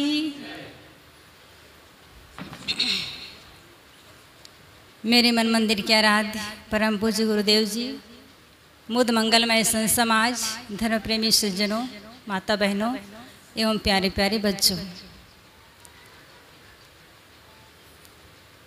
मेरे लिए भी आज्ञा हुई है। आज्ञा पालनार्थ कुछ देर निवेदन है। मैं आप सबसे सिर्फ़ यही कहना चाहूँगी, लहरों से डरकर नौका पार नहीं होती, लहरों से डरकर नौका पार नहीं होती और कोशिश करने वालों की कभी हार नहीं होती। हम सबको हिम्मत करना है। शुरू शुरू में जब बैठते हैं तो शरीर भी साथ नहीं देता है। मेरा खुद का अनुभव है। अब तो आश्रम में आ गई तो लगातार बैठना होता है, लेकिन शुरू बार आश्रम में रहने के पूर्व जब मैं अटेंड की, आप लोग तो बहुत अच्छे हैं। किसी ने नहीं कहा कि हमारा पैर में दर्द हो रहा था कि कुछ, लेकिन जब मैं पहले बार यहाँ शिविर अटेंड की तो घुटनों में, दोनों घुटनों में इतना दर्द कि मैं चल नहीं पाती थी। और घर पर ही रहना होता तो शायद कर भी ना पाती, लेकिन संयोग ऐसा कि दूसरे साल मुझे आश्रम में दाखिल होना पड़ा। आश्रम में जब मैं आई तो लगातार ये क्रम चला और आज मुझे महसूस होता है कि वाकई में ध्यान हम सबकी आवश्यकता है। जब मैं पहले बार यहाँ आई थी तो वही आप लोग बता रहे थे, वही बात मेरी भी थी। एक विचारों का क्रम चलता था। मैं एक ऐसे परिवार में पली बढ़ी जहाँ मेरे माता पिता भैया भाभी कोई ऊँचे आवाज़ में बात नहीं करते थे। बहुत ही शालीनता से बात किया जाता था और सब मेरा सम्मान करते थे एक प्रकार से। हर बात पूछते थे, कभी डांटते नहीं थे। तो वही बात याद आती थी कि मेरी भाभी इतनी अच्छी है, भाभी मुझे ये कहती थी, वो कहती थी, मेरे पिताजी ऐसे हैं, माँ ऐसी है तो वो सब क्रम चलता था। कोई गलत बातें नहीं होती थी, फिर भी इसे सोचते सोचते सिर में दर्द होने लगा था। और इतना दर्द होता था कि मैं बता नहीं सकती। लेकिन आज क्रम बिल्कुल उल्टा है। जब मुझे थोड़ा भी कुछ महसूस होता है, हरारत है या सिर में दर्द है, मैं सीधा ध्यान करती हूँ। और ध्यान से मुझे आराम मिलता है। आप लोग ध्यान देंगे? आदमी दो दो प्रकार से सिर दर्द होता है। एक तो तब जब गर्मी शरीर में होता है, वो मस्तिष्क में चढ़ता है, तब वो सिर दर्द होता है। तो ऐसे स्थिति में हमें अपना बिस्तर छोड़ करके खुली हवा में जाना चाहिए। रात में भी खुली हवा में टहलना चाहिए और सुबह सुबह खुली हवा का सेवन करना चाहिए। तो आपका सिर दर्द ठीक हो जाएगा और दूसरी बात, आप थोड़ा भी तनाव में आ गए हैं और आपका सिर दर्द हो रहा है तो सारे तनाव को छोड़ दीजिए, सारे संकल्प पल को छोड़ दीजिए और आप ध्यान में लौटाएँ, आपका सिर दर्द ठीक हो जाएगा। तो हम यही कहना चाहेंगे कि आप सब लोग इस क्रम को बनाए रखेंगे। यहाँ केवल सात दिन के लिए कोर्स होता है, सबको व्यवस्थित। पूरे समय तो नहीं हो सकता कि लंबे समय के लिए, लेकिन एक, हम लोग यहाँ पर शिक्षा लेने के लिए आए हैं तो इस क्रम को हम बनाए रखेंगे। चाहे हमारे युवा वर्ग हो, भाई हो, बहन हो, चाहे हमारे बुज़ुर्ग माता पिता हों सबको चाहिए अपने जीवन में आत्मिक शांति तो उसे करते रहें। और आस्था जी ने बहुत बढ़िया बात कही कि प्रेम मार्ग और श्रेय मार्ग। तो प्रेम मार्ग में तो हम लोग चलते आ ही रहे हैं। प्रेम मार्ग हमको अच्छा लगता है। ये राग, रंग, काम, भोग सब अच्छा लगता है। लेकिन ये अनादि से हम रचे पचे हैं तो लगता है कि यही जीवन अच्छा है। लेकिन श्रेय मार्ग, त्याग मार्ग, कितने लोग कहते हैं, साहब, आप लोग का जीवन देखने में कितना नीरस लगता है। कितने बच्चे कहते हैं, साहब, हम आश्रम में आएँगे, लेकिन बाल मुंडन नहीं कराएँगे। तब तो आएँगे। लेकिन ये अलग चीज़ है कि आश्रम में आने के बाद मन अपने आप बदल जाता है। तो बात यह है कि ये साधु जीवन है, देखने में बड़ा नीरस लगता है, उबड़ खाबड़ लगता है, लेकिन अंतिम परिणाम क्या होगा? इसका अंतिम परिणाम अच्छा ही होगा, सुखद होगा। इसलिए आप लोग घबराएँ नहीं, एकांत में बैठें, अपने मन को देखें। और आपकी ये जो ध्यान की स्थिति है ना, ठीक वैसे ही है, जैसे कोई गंदा कमरा में आपको छोड़ दे। कोई कमरा महीनों से गंदा पड़ा हो और उस कमरा में आपको छोड़ दे, कहे कि इसमें आपको रहना है तो आप क्या करेंगे? उसमें झाड़ू लगाना चाहेंगे। अब जब झाड़ू लगाएँगे तो वहाँ की गंदगी उड़ उड़ करके आपको खांसी आएगी, आपके दम घुटने लगेगा और कहेंगे कि हम, हमसे ये नहीं हो पाएगा। तो आप कोई कहेंगे आपको कि छोड़ दीजिए, फिर उसी में रहना पसंद कीजिए। तो आप कहेंगे कि नहीं, हमें तो स्वच्छता पसंद है, साफ़ सफ़ाई पसंद है। तो साफ़ सफ़ाई पसंद है तो क्या करेंगे? आपको वो गंदगी को हटाना ही पड़ेगा। ऐसे ही जब आप ध्यान में बैठेंगे तो आपके अनेक प्रकार के संस्कार चलेंगे। जो कुछ देखे, किए और सुने हो गए हैं, वो संस्कार सामने आएँगे, लेकिन उन संस्कारों से घबराना नहीं है। यदि उनसे मुक्ति पाना है तो उसका साक्षी होकर के बैठना होगा और धीरे धीरे वो दिन आएगी। जब साहब जी आज कह रहे थे, यदि हम आँखों को बंद कर लें, कान को बंद कर लें, होठों को बंद कर लें तो वो दिन दूर नहीं है कि खुदा को हम अपने में पा जाएँ। बस इसी के साथ मैं अपने वाणी को विराम देती हूँ। बोलिए, सदगुरुदेव की जय। बहुत सुंदर। ये ये भैया कैमरा लगा रहता है, उधर से आप पता भी नहीं चलता है उनको। अब मैं निवेदन करता हूँ साध्वी सुमन साहब से। आप भी आए। और पाँच मिनट समय भागा जा रहा है और बहुत सारे संतों के भी और हमारे वरिष्ठ संत हैं, उनके भी विचार सुनेंगे।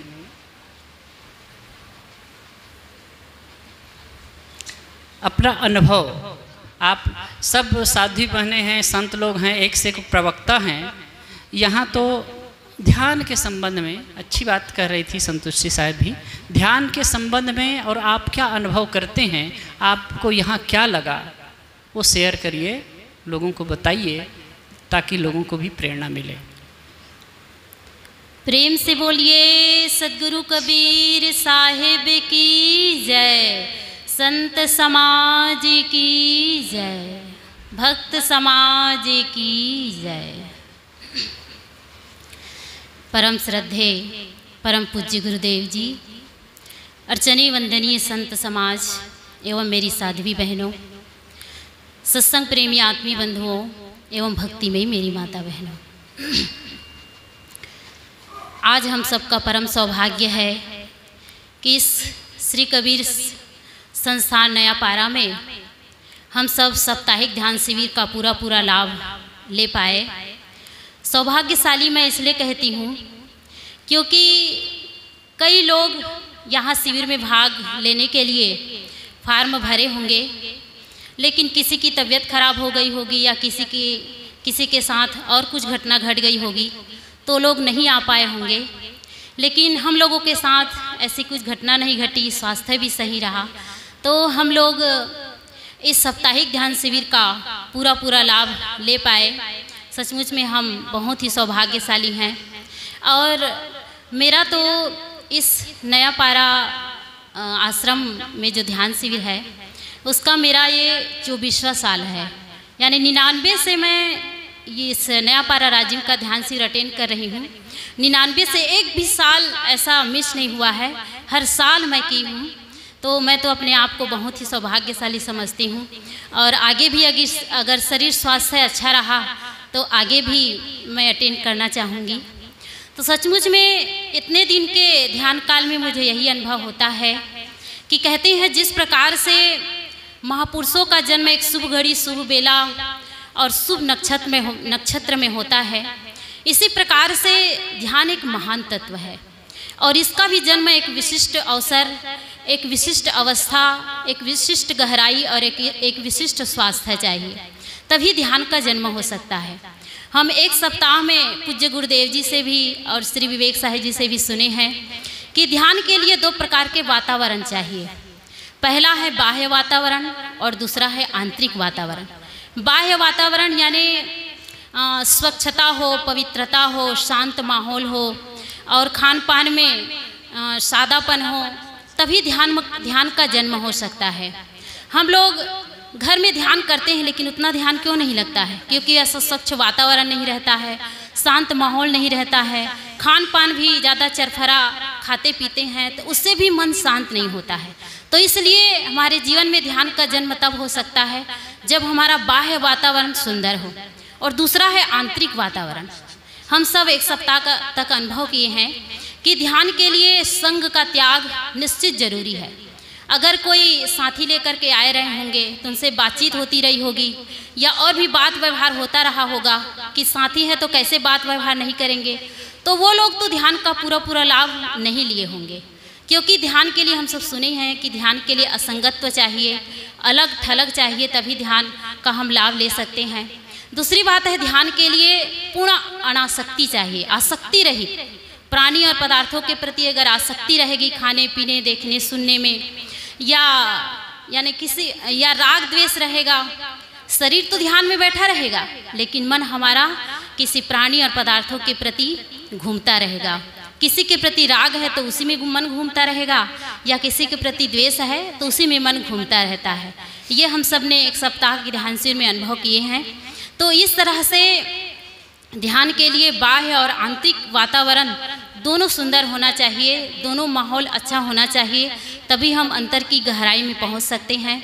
तो हम सबने पूज्य गुरुदेव जी से, हमारे पूज्य संतों से और हमारे संचालक महोदय श्री विवेक साहेब जी से बहुत सुंदर सुंदर ज्ञान की बातें सुने, कैसे ध्यान करना चाहिए, कैसे अपने आप की मुलाकात करें, आदि बहुत सुंदर सुंदर ज्ञान की बातें सुने हैं। इसे हम यहाँ तो अभ्यास किए ही हैं, अपने घर जा कर के इसका अभ्यास करें। मन में वैराग्य लाएँ, तभी तब, तभी पूर्ण सार्थकता हो सकती है। नहीं तो चार दिन किए और छोड़ दिए तो हमें पूरा लाभ नहीं मिल सकता है। तो मुझे बहुत अच्छा लगा, और आगे अगर ऐसा समय मिले तो आगे भी इसी तरह से ध्यान अटेंड करना चाहूँगी, और अपने जीवन को सुंदर बनाऊँगी। तो परम पूज्य गुरुदेव जी के चरणों में कोटि कोटि नमन करते हुए पूज्य संतों के चरणों में कोटि कोटि नमन करते हुए आप सबको सादर साहेब बंदगी करते हुए अपने वाणी को यही विराम करती हूँ। बोलिए सदगुरुदेव की जय। अब मैं नया पारा नवा गाँव कबीर आश्रम कचना नवा गाँव कबीर आश्रम से आई हुई साध्वी सुश्री समता साहब से निवेदन करता हूँ कि आप आएँ और आप भी अपने विचार रखें।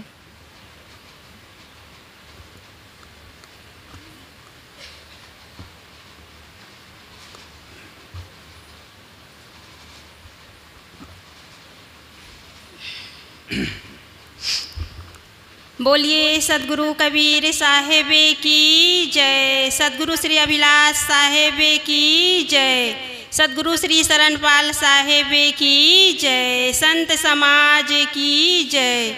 भक्त समाज की जय। भक्तिमती माताओं की जय। बड़ी खुशी की बात है कि आज हम सब ध्यानार्थी परम पूज्य गुरुदेव जी के संरक्षण में सात दिन तक इस शिविर में भाग लिए और किसको, कहाँ तक, कितनी सफलताएँ मिली, ये सबका अपना अपना अनुभव है। मैं तो इतना ही कहना चाहती हूँ कि हम सबका परम सौभाग्य है कि हम सबको ये सुंदर ज्ञान का मार्ग मिला हुआ है और इस ज्ञान मार्ग में अपने आत्मा की ओर केंद्रित होने के लिए ये ध्यान शिविर का सुनहरा अवसर हम सबको मिला हुआ है।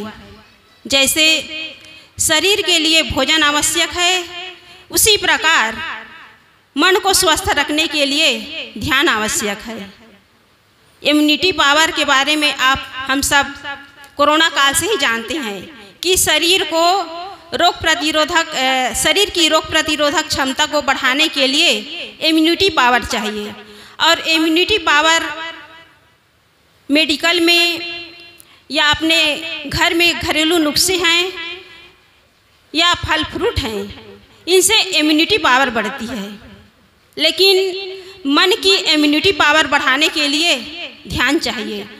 और इसका ज्ञान सदगुरु कबीर साहब जी को आज से 650 वर्ष पूर्व से ज्ञात था। तभी तो वो ध्यान के बारे में कहे हैं। सदगुरु कबीर साहब जी ने कहा है कि सहज ध्यान रहू, सहज ध्यान रहू, गुरु के वचन समाई हो।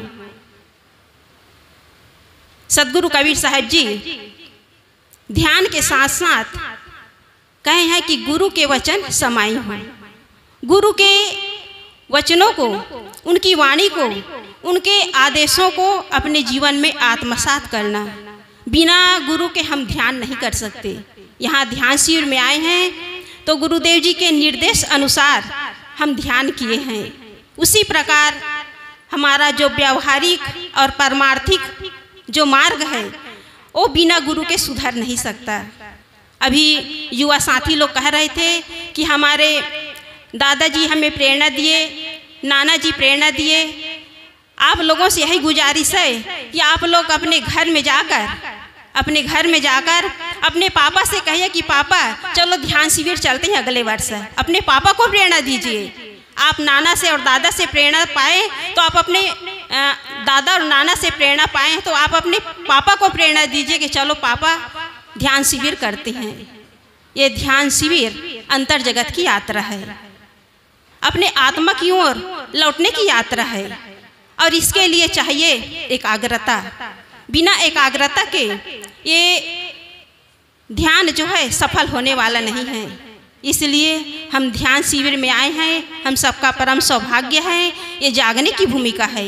ये मानव जीवन जागने की भूमिका है। सदगुरु कबीर साहिब जी ने कहा है कि एक चेता एक चेतवन हारा। एक चेतता है और दूसरा चेताता है। एक जगता है और दूसरा जगाता है। जगाने वाला कौन है? सदगुरु। हम जागे।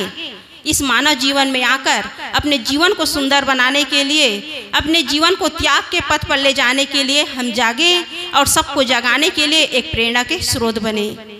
आप सबसे यही गुजारिश है जो युवा वर्ग और जो छोटी छोटी बिटिया यहाँ आई हैं, सबसे यही गुजारिश है कि आप हर वर्ष आइए और इस ध्यान शिविर में भाग लीजिए और अपने जीवन को सफल बनाने के लिए संत गुरुजनों की वाणियों को अपने जीवन में आत्मसात करें, ताकि आप सुधरे, आपका परिवार सुधरे, आपका गाँव सुधरे और आपसे प्रेरणा लेकर और लोग भी इस इस रास्ते पर चलने के लिए अपना कदम आगे बढ़ाएँ। मैं परम पूज्य गुरुदेव जी और संत गुरुजनों के चरणों में नमन करते हुए आप सबके प्रति आभार व्यक्त करते हुए मैं अपनी वाणी को विराम देती हूँ। बोलिए, सदगुरुदेव की जय।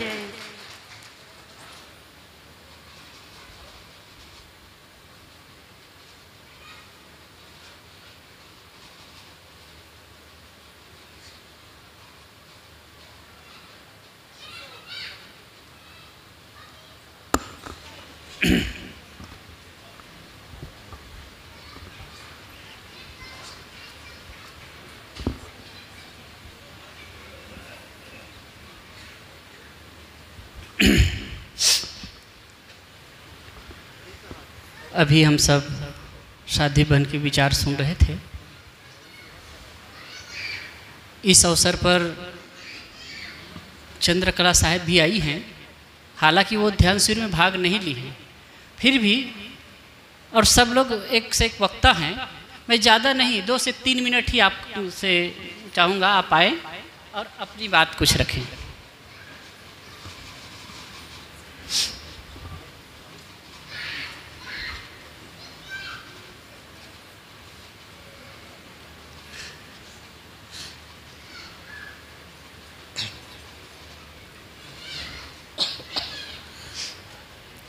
प्रेम से बोलिए, सदगुरु कबीर साहिब की। आदरणीय परम पूज्य, परम श्रद्धेय श्री साहिब जी,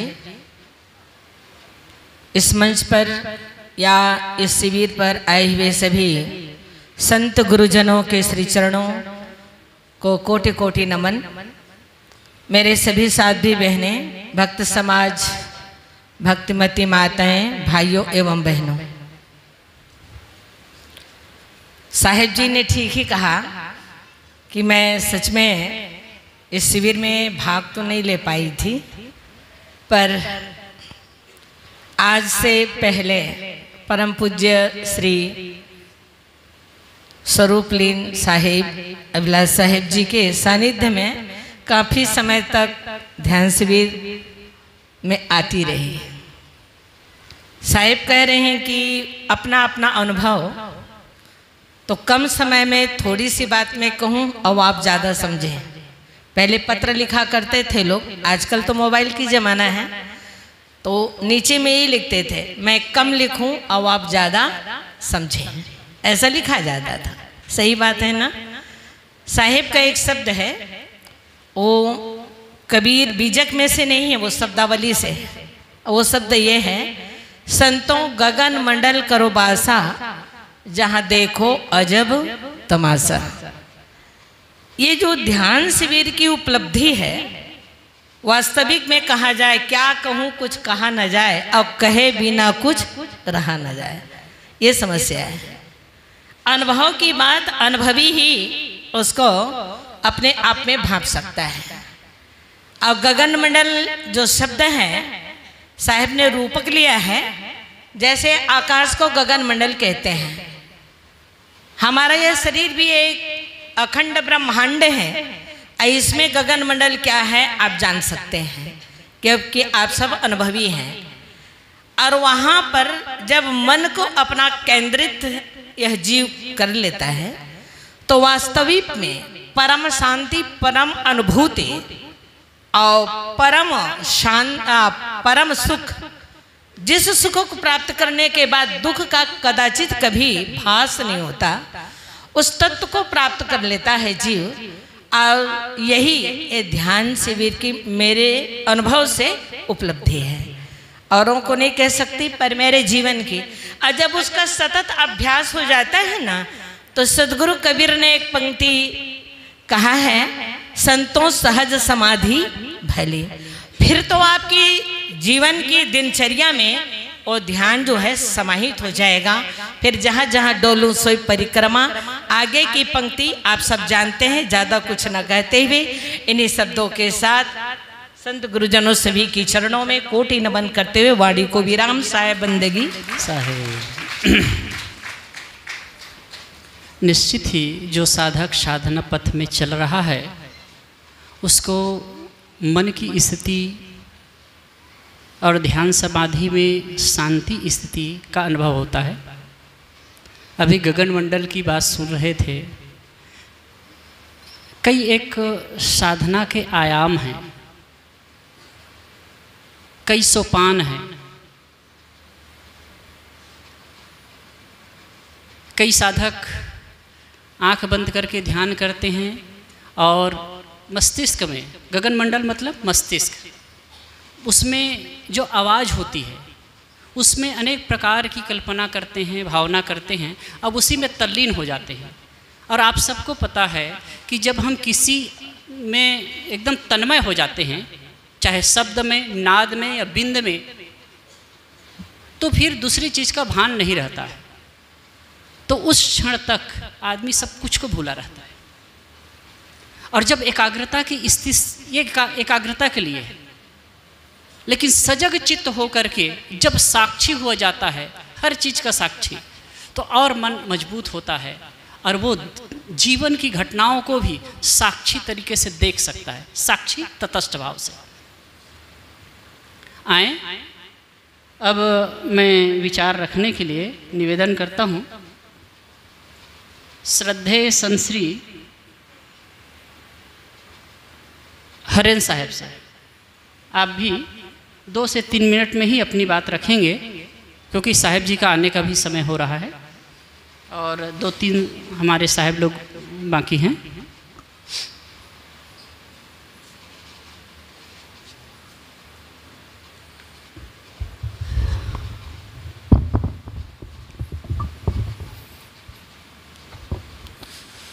बोलिए श्री सदगुरुदेव की सुस्ती से नहीं, चुस्ती से। बोलिए श्री सदगुरुदेव की।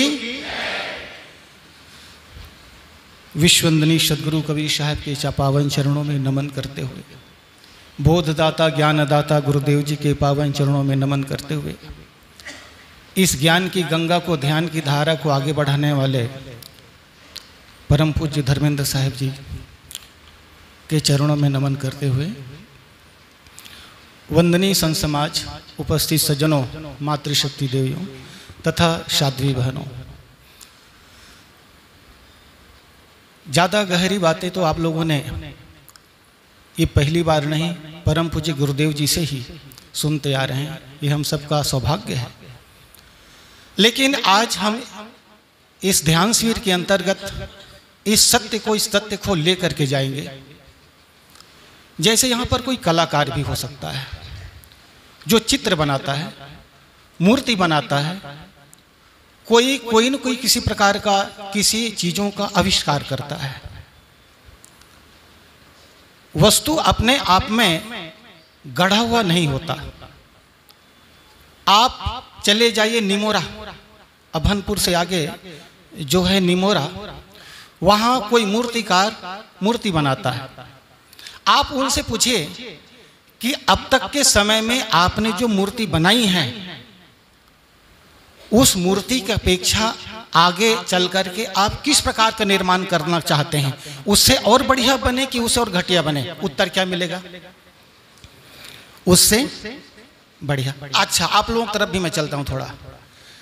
आपकी सासू माँ ने आपको या आपकी माता जी ने आपको हलवा, पूड़ी या कोई चीज़ मिठाई बनाने के लिए कहा?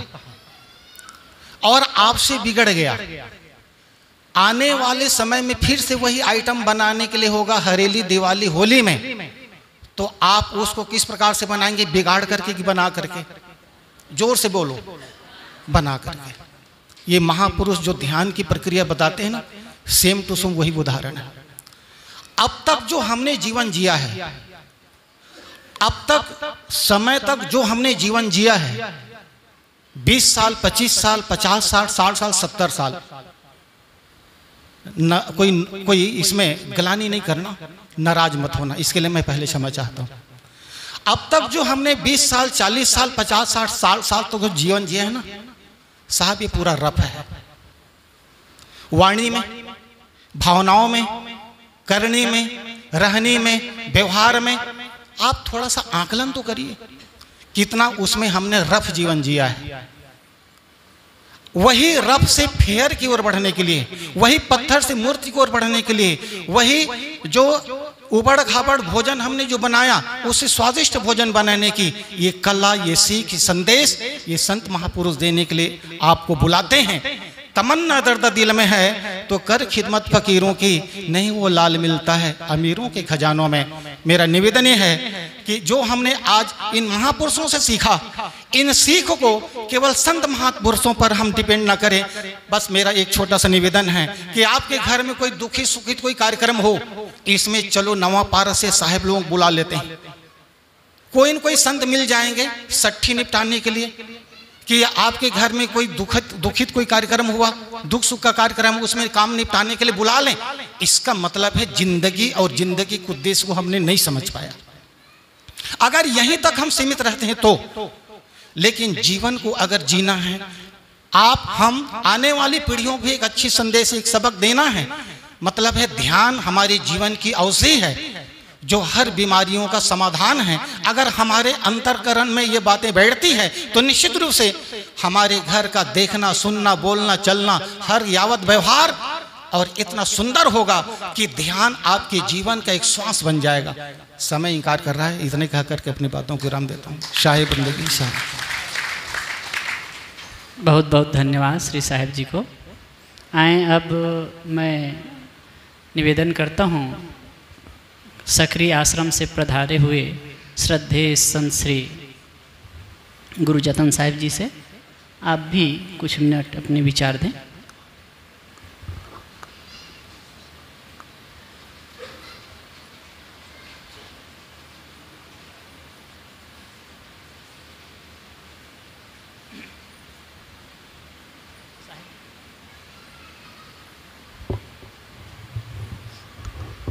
साहेब जी।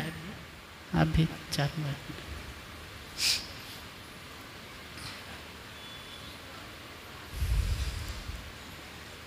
परम पूज्य श्री साहेब जी बंधनी संत समाज, उपस्थित निर्क्षीर विवेकी बंधुओं, श्रद्धामती देवियों, प्यारे बच्चों।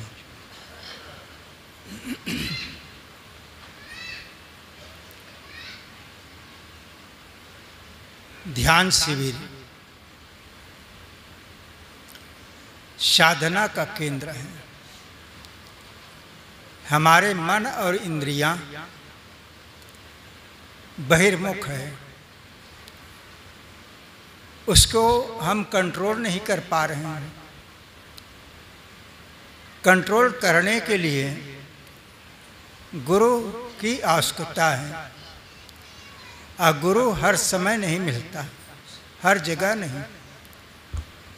एक शिविर के माध्यम से सदगुरु और संतों के सानिध्य में रह करके हमारे मन और इंद्री चंचल है, उसको काबू करने के लिए एकमात्र स्थल है।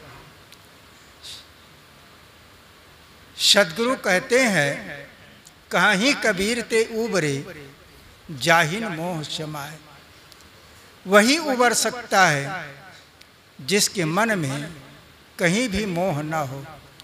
ये जीवन अनमोल मिला है। ये बार बार ये अवसर नहीं मिलेगा। महात्मा बुद्ध कहते हैं, भिक्षुओं, ये जन्म मरण के जो चक्र चल रहा है, कब से है, तुम्हें पता है? भिक्षु कहते नहीं, बनते नहीं। ये अनादिकालीन है। अनादिकाल से तुम्हारी आत्मा है। प्रिय के वियोग और अप्री के संयोग में भटक रहा है।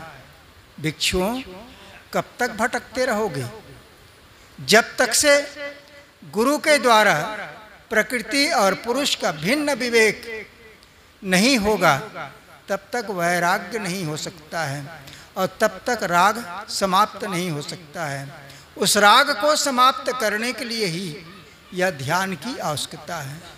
जब तक हम गुरु के सानिध्य में रह करके ध्यान नहीं करेंगे, यहाँ के खाना, यहाँ के पहना पहनना, ओढ़ना, बोलना, चलना, सब कुछ संतुलित है। और ये प्रक्रिया हम सात दिन तक यहाँ आकर के कर लिए और अपने जगह में गए फिर भूल गए, फिर माया मोहन डूब गए, फिर खाने पीने में तो ये साधना नहीं है। ये बानगी है, लेकिन हम लोग अपने घर में जा कर के ये अभ्यास खुद करें। चाहे बच्चे आए हैं, जवान आए हैं, बूढ़े आए हैं, घर में भी अपना अनुशासित करें, खूब अनुशासन में रह करके अपने परिवार वालों को, तभी ध्यान सफल हो सकता है, और तभी साधना पक्का हो सकता है और हमारी जो जन्म मरण के जो चक्र है, वो समाप्त हो सकता है। इसलिए सदगुरु कबीर के जो बीजक है, उसका घर घर में पाठ होना चाहिए और अध्ययन भी होना चाहिए सदगुरु श्री अभिलाष साहेब जी का, जो दिया हुआ जो बीजक व्याख्या है दोनों खंड में पूज्य संत श्री धर्मेंद्र साहब जी के बीजक, कबीर बीजक का रत्न है, ये सारे ग्रंथों को खूब अध्ययन होना चाहिए। रोटी धोती, छाया जब तक जीवन है, तब तक मिलेगा। खेती नौकरी व्यापार के बल पर, लेकिन खेती नौकरी व्यापार चार या छः घंटा का होता है। पूरा समय बाकी है। उस शाम, समय को हमें ध्यान में नियोजित करके सेवा, स्वाध्याय और साधना में जीवन जिए, उसी के लिए यहाँ सीख बानगी लेने के लिए गुरु और संतों के सानिध्य में आए हैं। यहाँ से बहुत बड़ी संपत्ति लेकर के आप सब जाएँ और अपने जीवन को तराशें। इसीलिए सदगुरु शिवलास साहब जी ने कहा है, जीवन का मुख्य मांझने का अपने आप को साधने के लिए क्या चीज़ है? विवेक और वैराग्य। विवेक करो, मैं कौन हूँ? कहाँ से आया हूँ? कहाँ, कब तक रहूँगा? सब कुछ छूटेगा, धन छूटेगा, तन छूटेगा, जन छूटेगा। मैं किसमें भटक रहा हूँ? सदा के लिए छूटने वाला है। इसलिए जब विवेक करोगे, तभी मन में वैराग्य होगा, तभी राग छूटेगा, तभी अपने में आत्मा में चित्त जुड़ेगा, तभी मोक्ष हो सकता है। और मोक्ष पाने के लिए नर शरीर मिला है और उसके लिए केवल हमारा भेष नहीं, कपड़ा नहीं, गृहस्थ हो, विरक्त, सबका अधिकार है मोक्ष पाने में। उसी के लिए यहाँ पर ध्यान शिविर लगाया जाता है। मैं अपने वाणी को विराम देता हूँ। आप सबको धन्यवाद देता हूँ। बोलिए। बोलिए, सदगुरुदेव की जय। थोड़े में श्रद्धे श्री साहेब जी ने बहुत सुंदर बात कही कि कैसे हमारे जीवन में ध्यान उतरे और कैसे हमारे जीवन में हम वैरा, विवेक वैराग के पथ पर चल करके शांति लाभ प्राप्त कर सकते हैं। अब हाँ श्रद्धे स्वामी जी, रतन साहेब जी ककरैया से पधारे हैं, वो भी इस ध्यान शिविर में भाग लिए वहीं ले जाकर के दे, वहीं। स्वामी जी, पाँच मिनट। अपना विचार दीजिए। सब लोग बड़े बड़े वक्ता हैं, मैं देखकर समय देने में भी घबराहट होती है किनको क्या कहूँ। लेकिन, आयोजकों की तरफ़ से बार बार संकेत भी मिल रहा है कि इतने समय में पूरा करना है। मैं भी दुविधा में हूँ, लेकिन क्षमा चाहूँगा आप सबसे।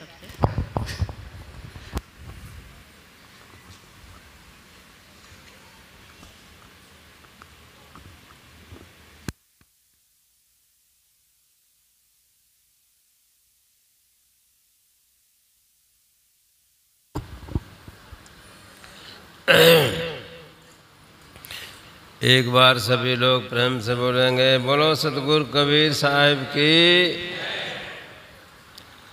परम आदरणीय संत समाज, प्रिय सज्जनों, तथा देवी और देवताओं, तथा छोटे छोटे बालक और बालिकाओं, आप लोग सात दिन के ध्यान शिविर में जो भाग लिए हैं, बहुत ही सौभाग्यशाली है। इससे बड़ा और कोई सौभाग्य है ही नहीं। इससे बड़ा कोई सौभाग्य संसार में नहीं है, क्योंकि इस सौभाग्य से सौभाग्यशाली क्यों है? क्योंकि ध्यान करने से अंदर का कचरा दूर हो जाता है। ध्यान करेंगे तो अंदर का कोई भी कचरा नहीं रहेगा। कचरा ही उसको दिन रात भुलाता है दिन रात उसको नचाता है। और जब ध्यान करेंगे तो जो कचरा है वो बिल्कुल निकल जाएगा, कोई कचरा ही नहीं रहेगा। संसार की सारी संपत्ति, ये छत्तीसगढ़ नहीं, पूरे संसार की सारी संपत्ति को एक तरफ़ रखा जाए और जीवन को एक तरफ़ रखा जाए फिर भी सारे संसार की संपत्ति जीवन के आगे नहीं तोल सकते।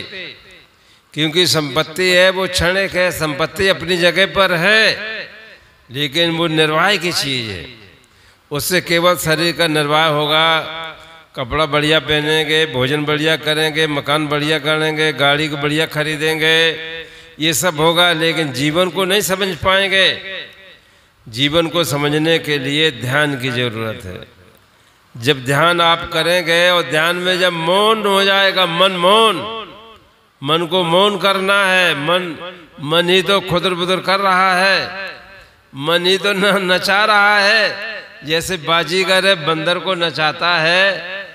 कबीर साहब ने बीजक में कहा है, बाजीगर का बांदरा ऐसा जीव मन के साथ। जैसे बांदीगर, बाजीगर है, बंदर को नचाता है, इसी प्रकार से जीव इसी प्रकार से मन जीव को नचा रहा है। जीव को नचा रहा है, कितने दिन दिन भर भटकते हैं। लेकिन आप जो ध्यान किए हैं, ध्यान में आए हैं, वो सात दिन में कितनी शांति मिली है? तो शांति को अगर आप चाहते हैं, शांति को प्राप्त करना चाहते हैं तो ध्यान कीजिए। ध्यान का ये पहला अवसर है। पहला जीवन है। अगर आप ध्यान करेंगे, तभी जीवन को आप समझ पाएँगे, जीवन को नहीं समझ पाएँगे। जीवन को समझने के लिए ध्यान की ज़रूरत है। ध्यान की ज़रूरत है, ध्यान में मन एकाग्र हो जाता है, तब अपने स्वरूप का बोध होता है। कहते हैं कि ध्यान नहीं करना चाहिए, ध्यान नहीं करेंगे तो मन इधर उधर भटकाएगा। ध्यान करने से दृष्टा का बोध होता है, ध्यान करने से अपने आप का बोध होता है, ध्यान करने से अपने आप में स्थिति होती है। और जब आप में स्थिति हो जाएगी तो संसार बोना बोना जानते हैं, बोना लगेगा। संसार बोना लगेगा, स्त्री बोना लगेगी, दंपति बोना लगेगी, सारा संपत्ति, सारे संपत्ति बोना, उसके आगे कुछ है ही नहीं। आप ईश्वर के ईश्वर हैं। आप भगवान के भी भगवान हैं। सब भगवान, ये सब भगवान बैठे हैं, ये भी सब भगवान बैठे हैं। भगवान है अंदर का केवल कचरा निकलना चाहिए और कचरा निकलेगा, ध्यान से निकलेगा। बगैर ध्यान के कचरा नहीं निकलेगा। कचरा निकालने के लिए ध्यान चाहिए, उतना तो समय मेरे पास नहीं है। बीजक में बहुत, बीजक का आपको लोगों का अध्ययन करना चाहिए। बीजक में बहुत मसाला भरा हुआ है, बहुत ज्ञान भरा हुआ है। अगर आप बीजक का अध्ययन करेंगे तो आपके अंदर का कचरा भी निकल जाएगा, ध्यान करेंगे, तब भी निकल जाएगा। इसलिए मेरे पास उतना समय नहीं है। मैं इतना ही कह करके अपनी वाणी को विराम देता हूँ कि जो ध्यान यहाँ किए हैं, वही ध्यान को आपको घर में भी करना चाहिए, बाल बच्चों को भी सिखाना चाहिए। और जब ध्यान सब लोग सीख जाएँगे, घर में झगड़ा नाम की चीज़ नहीं, घर में दुर्बुद्धि नाम की चीज़ नहीं, घर में ऐसा वातावरण बन जाएगा कि क्या पूछना। इसलिए बहुत सुंदर मौका मिला है, ध्यान का सुंदर मौका मिला है, इसलिए ध्यान करके अपने आप में मस्त होना चाहिए। मस्ती अपने में है, ज़िंदगी में ज़िंदगी का राज पाना चाहिए, मन और इंद्रियों को स्वस्थ रखना चाहिए, असत और आसक्त का त्याग करना चाहिए और अपने को जानकर मस्त रहना चाहिए। मस्ती अपने में है, पर में नहीं है। स्व और पर, यही अध्ययन के दो विषय हैं। स्व और पर जिसको शास्त्रों की भाषा में प्रकृत और पुरुष भी कहते हैं, जड़ और चेतन भी कहते हैं, दृष्टा और दृश्य भी कहते हैं, स्व और पर भी कहते हैं। लेकिन हमें, हम दृष्टा हैं, लेकिन दृश्य में भूल गए हैं। दृश्य को सब कुछ मान लिए हैं, जो कुछ है वो जमीनी है जो कुछ है वो धनी है, जो कुछ वो स्त्री है, जो कुछ है वो परिवार ही है। ऐसा हम लोग भूले हुए हैं। तो इसी भूल को मिटाने के लिए ध्यान की ज़रूरत है। और जब ध्यान करेंगे सारी भूल मिट जाएगी और आप अपने में मस्त हो जाएँगे। इन्हीं शब्दों के साथ में अपनी वाणी को विराम देता हूँ। बहुत सुंदर। पूज्य स्वामी जी, हम तो बचपन से जानते हैं छोटे छोटे रहे, तब से हमारे जन्मभूमि जाते थे और एक अच्छे वक्ता हैं। लेकिन भाई समय है। अब मैं श्रद्धेय संश्री कृपा शरण साहेब जी से निवेदन करता हूँ कि आप भी कुछ मिनट अपने विचार हम सबके बीच रखें साहब बुला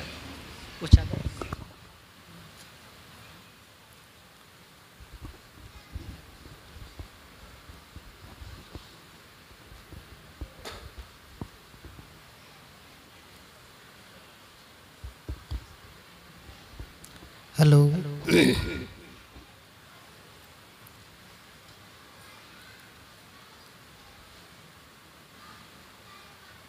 सुनते सुनते आलस चंडाल भी घेरता है। आइए इस आलस चंडाल को नया पारा के बस स्टैंड तरफ़ पहुंचाएँ। साधन है, जयकारा है। बोलिए सदगुरु कबीर साहेब की। सदगुरु राम सूरज साहेब की। सदगुरु अभिलाष साहेब की। श्रद्धे संत श्री शरणपाल साहेब की। अमृत साहेब की। संत समाज की। भक्त समाज की। मंगलमय मंगल करन मंगल रूप कबीर ध्यान धरत नाशत शकल, कर्म जनित अघपीर अजर अमर त्रय काल सत्य जो अनंत चेतन, निज अनुभव से जान जात जो शांत तेज घन, निर्विकार निर्द्वंद सदा सर्वोपर सोई। तेहि पद दर्शक दिव्य रहने उत बोधक जो, ऐसे मुक्त स्वरूप जो, श्री गुरुवर के चरण चित। शेष झुकावत दास, जन्म मरण भय हरण हित बोलिए सदगुरु देव की जय। प्रयागराज से पधारे परम श्रद्धे पूज्यपात श्री साहेब जी, मंचासीन मुद मंगलमय संत समाज अनेक क्षेत्रों से पधारे हुए धर्म प्रेमी सज्जनों श्रद्धा मूर्ति माताओं, बहनों, इस वसुंधरा में पलने वाले प्यारे प्यारे बच्चों। आज हम सब साप्ताहिक ध्यान शिविर के अंतिम पूर्णाहुति में आज हम सब अभी पूज्य संतों के द्वारा, साधुओं के द्वारा, भक्तों के द्वारा अपना अपना अनुभव ध्यान शिविर के संदर्भ में सभी लोगों ने बहुत सुंदर अपना अपना अनुभव बताए। अब मुझे भी समय दिया है, मैं अपना अनुभव क्या बताऊँ?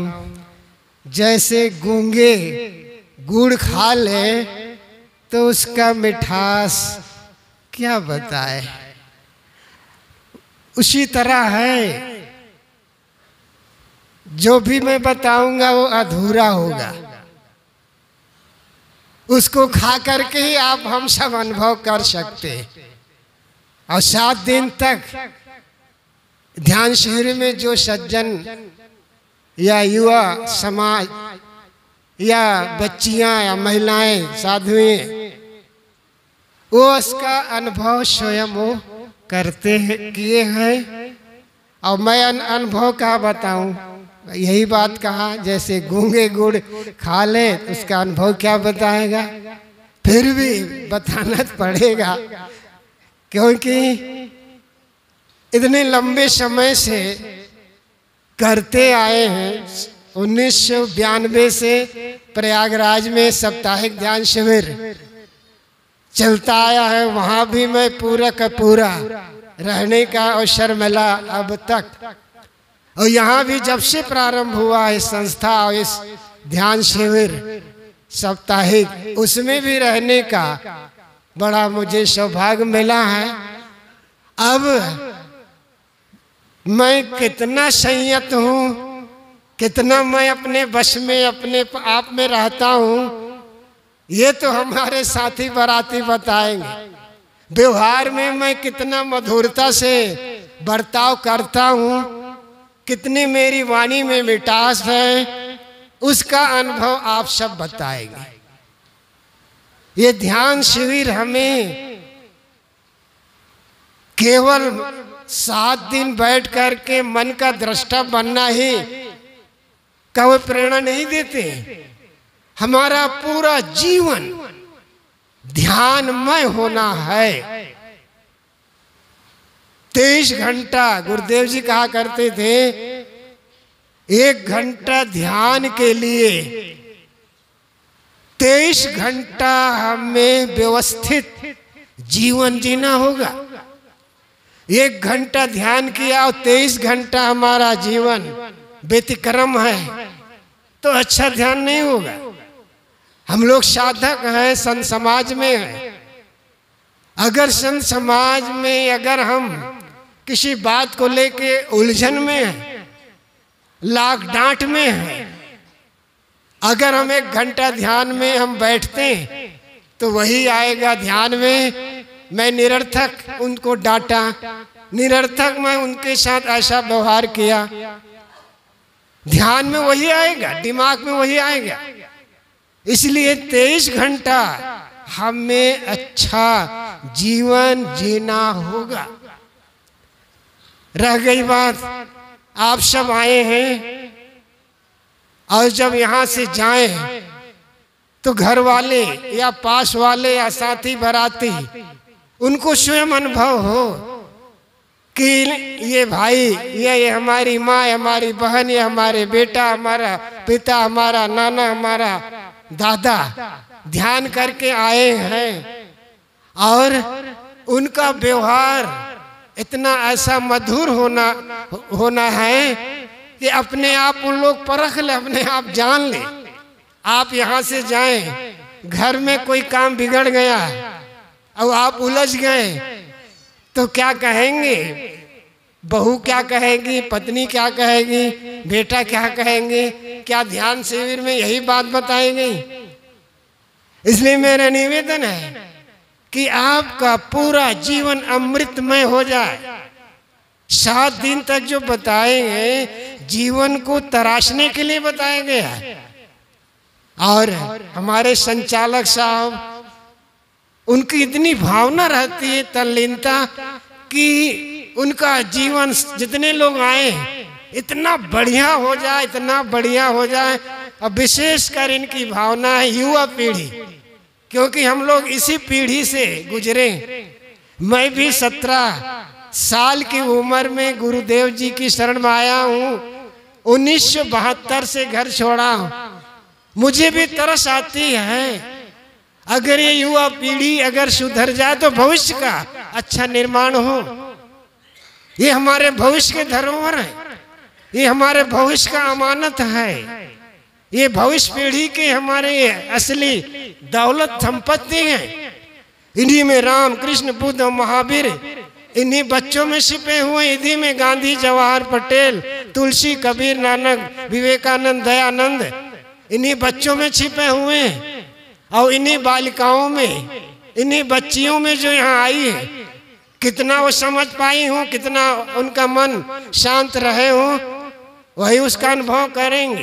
करें करेगी किए होंगी। लेकिन मेरा निवेदन है कि इन्हीं बच्चियों में रजिया बेगम छिपी हुई हैं, विक्टोरिया छिपी हुई हैं, इंदिरा गांधी छिपी हुई हैं, प्रतिभा पाटिल और द्रौपदी मुर्मू इन्हीं बच्चियों में छिपी आवश्यकता है कि इन्हें बच्चों में, बच्चियों में हमें अच्छी सीख, अच्छे संस्कार देने की ज़रूरत है। ये ध्यान शिविर हमें व्यवहारिक जीवन को भी सुव्यवस्थित बनाने की भी सीख देती। जब तक व्यवहारिक जीवन हमारा समरसता नहीं आएगी, एकता और प्रेम और संगठन में हमारा जीवन नहीं बीतेगा, और हम ध्यान में आएँगे, ध्यान में बैठेंगे एक घंटा, आधे घंटा, दस मिनट तो ध्यान नहीं लगेगा। ये ध्यान हमें व्यवहारिक जीवन को भी पवित्र बनाने के लिए ये ध्यान हमें सीख ये देता है। हर काम हमारा ध्यानमय हो जाना है। आप लोग बच्चों को जब विद्यालय भेजते हैं, गाड़ी के द्वारा बच्चा जाता है तो बूढ़े माँ बाप घर के अभिभावक लोग यही कहते हैं, देखो बेटा, ध्यान से गाड़ी चलाना। जा तो रहे हो, ध्यान से पढ़ना, गलत बच्चों के साथ संग न करना। हमारा हर काम किस पर फोकस होता है? ध्यान पर ही होता है। लेकिन हमारी भावना क्या बन गई है? ये तो ध्यान, ये समाधि, ये चिंतन केवल ये साधु महात्मा के लिए रिज़र्व है। ये तो सदगुरु अभिलाष साहब और पारक सिद्धांत में अद्वितीय महापुरुष है जिन्होंने आम जनता के लिए ध्यान शिविर को खोल दिया। सब कर सकते हैं, सबके लिए। ये अमानत दौलत है। बिना ध्यान के किसी को शांति मिलने वाली नहीं है। अंतर यात्रा करने के लिए, अंतर की ओर लौटने के लिए एक ही साधन है। वो है ध्यान है। व्यवहारिक जीवन भी हमारा ध्यानमय होगा। और जब इसी ध्यान जो है, हमारी अंतर यात्रा भी ये ध्यान हमें खोलता है। आत्मा में विश्राम पाने की एक ही जगह है, वो है ध्यान समाधि। और ध्यान क्या है? सब तरफ़ से लौट करके अपने आप में स्थित होना। ये तो बार बार हम सुनते रहे ध्यानम निर्विषम मना। मन का निर्विषय हो जाना ही ध्यान है। मन में कूड़ा कबाड़ इकट्ठे संस्कारों का पुलिंदा है, संस्कारों का अंबार है। इन्हीं संस्कारों को हमें देखना है, उसमें मिलना नहीं है। ये ध्यान हमें बताता है। अंत में सारे विचार अपने आप समाप्त हो जाना, ये ध्यान है। और अंत में आत्मा में हमारा विश्राम मिलेगा। और ये कब? जब हम ध्यान में रहेंगे ध्यान में जाएँगे। और अंत में आत्मा में ही विश्राम मिलेगा। और कहीं विश्राम मिलने वाला नहीं है। सदगुरु कबीर साहब ने इस संदर्भ में कहा, कहाँ विश्राम मिलेगा? साहब कहते हैं, मांझ मझरिया बसे सुजान है जल हुई है सो थीरा हो और निर्भय भयता गुरु की नगरिया। सुख सो दास कबीरा। जीव को, साधक को कहाँ विश्राम मिलेगा?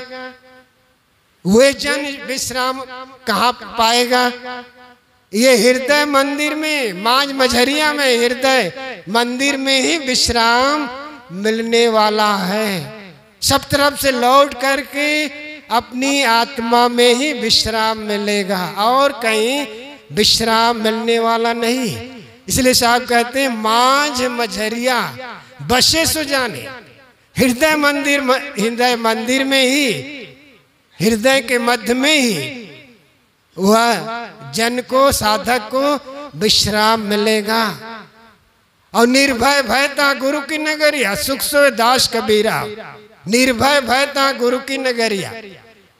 गुरु की नगरी में ही निर्भय, सच्चा सुख मिलेगा।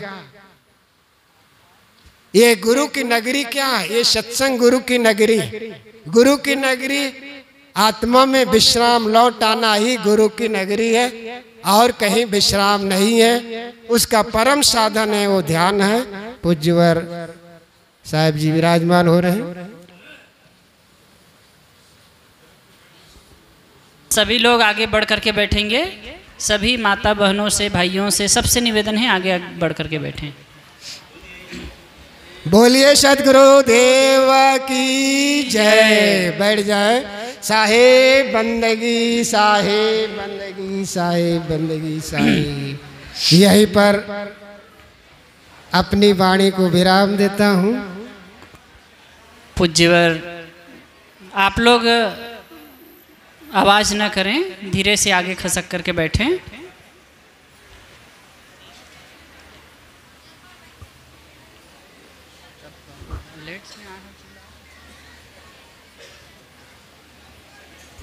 हाँ जी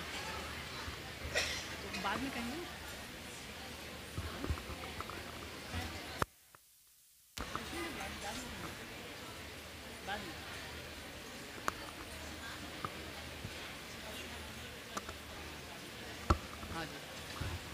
इनको पहले बोलने दीजिए फिर भजन गवा देंगे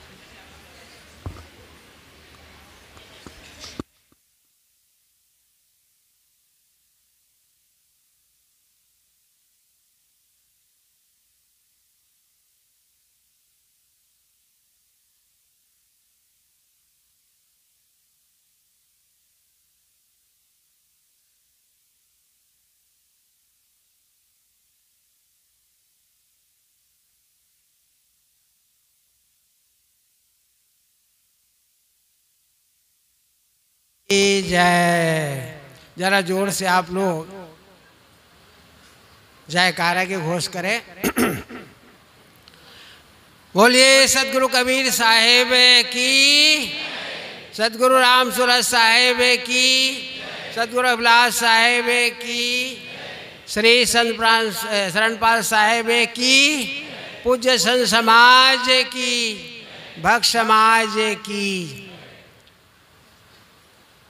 आप लोग सात दिन तक यहाँ आकर के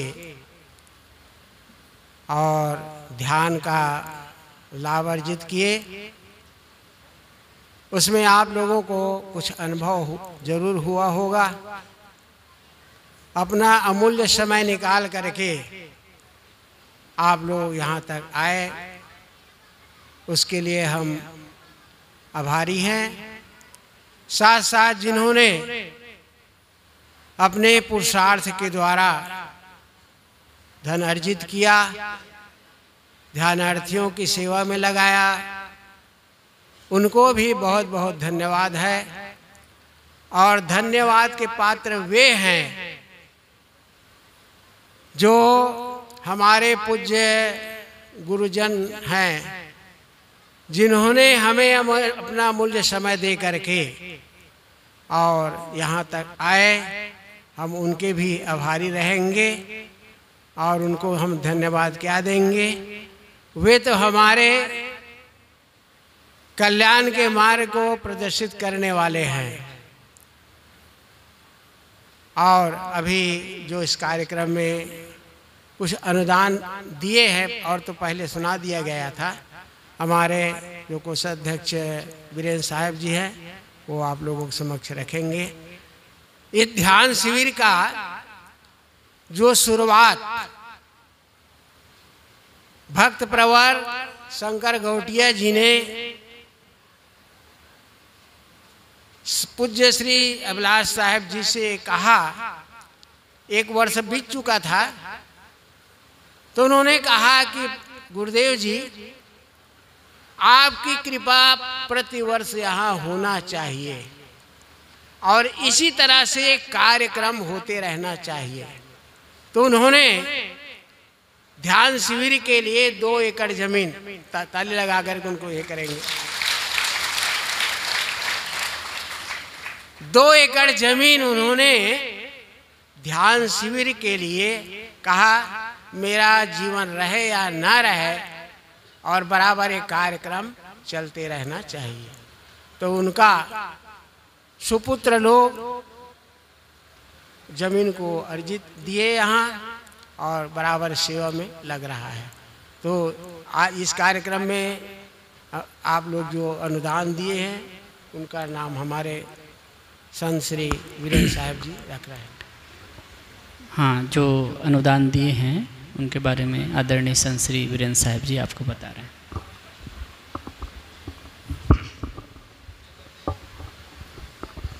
हाँ एक बात मैं कहना भूल गया। इस आश्रम को सेवा देने वाले हमारे पड़ोसी एक शामिल सरदार जी कुर्रा के रहने वाले हैं। चाहे दो कुंटल हो, चाहे चार कुंटल गेहूँ हो, लकड़ी काम हो बराबर सेवा देते हैं, हम उनके प्रति भी आभारी हैं। और गणेश ट्रेडर्स इस नया पार के रहने वाले हैं, उनकी भी सेवा बराबर यहाँ देते रहते हैं। तो उनका नाम मैंने बताना भूल गया था। बोलो, सदगुरुदेव की जय।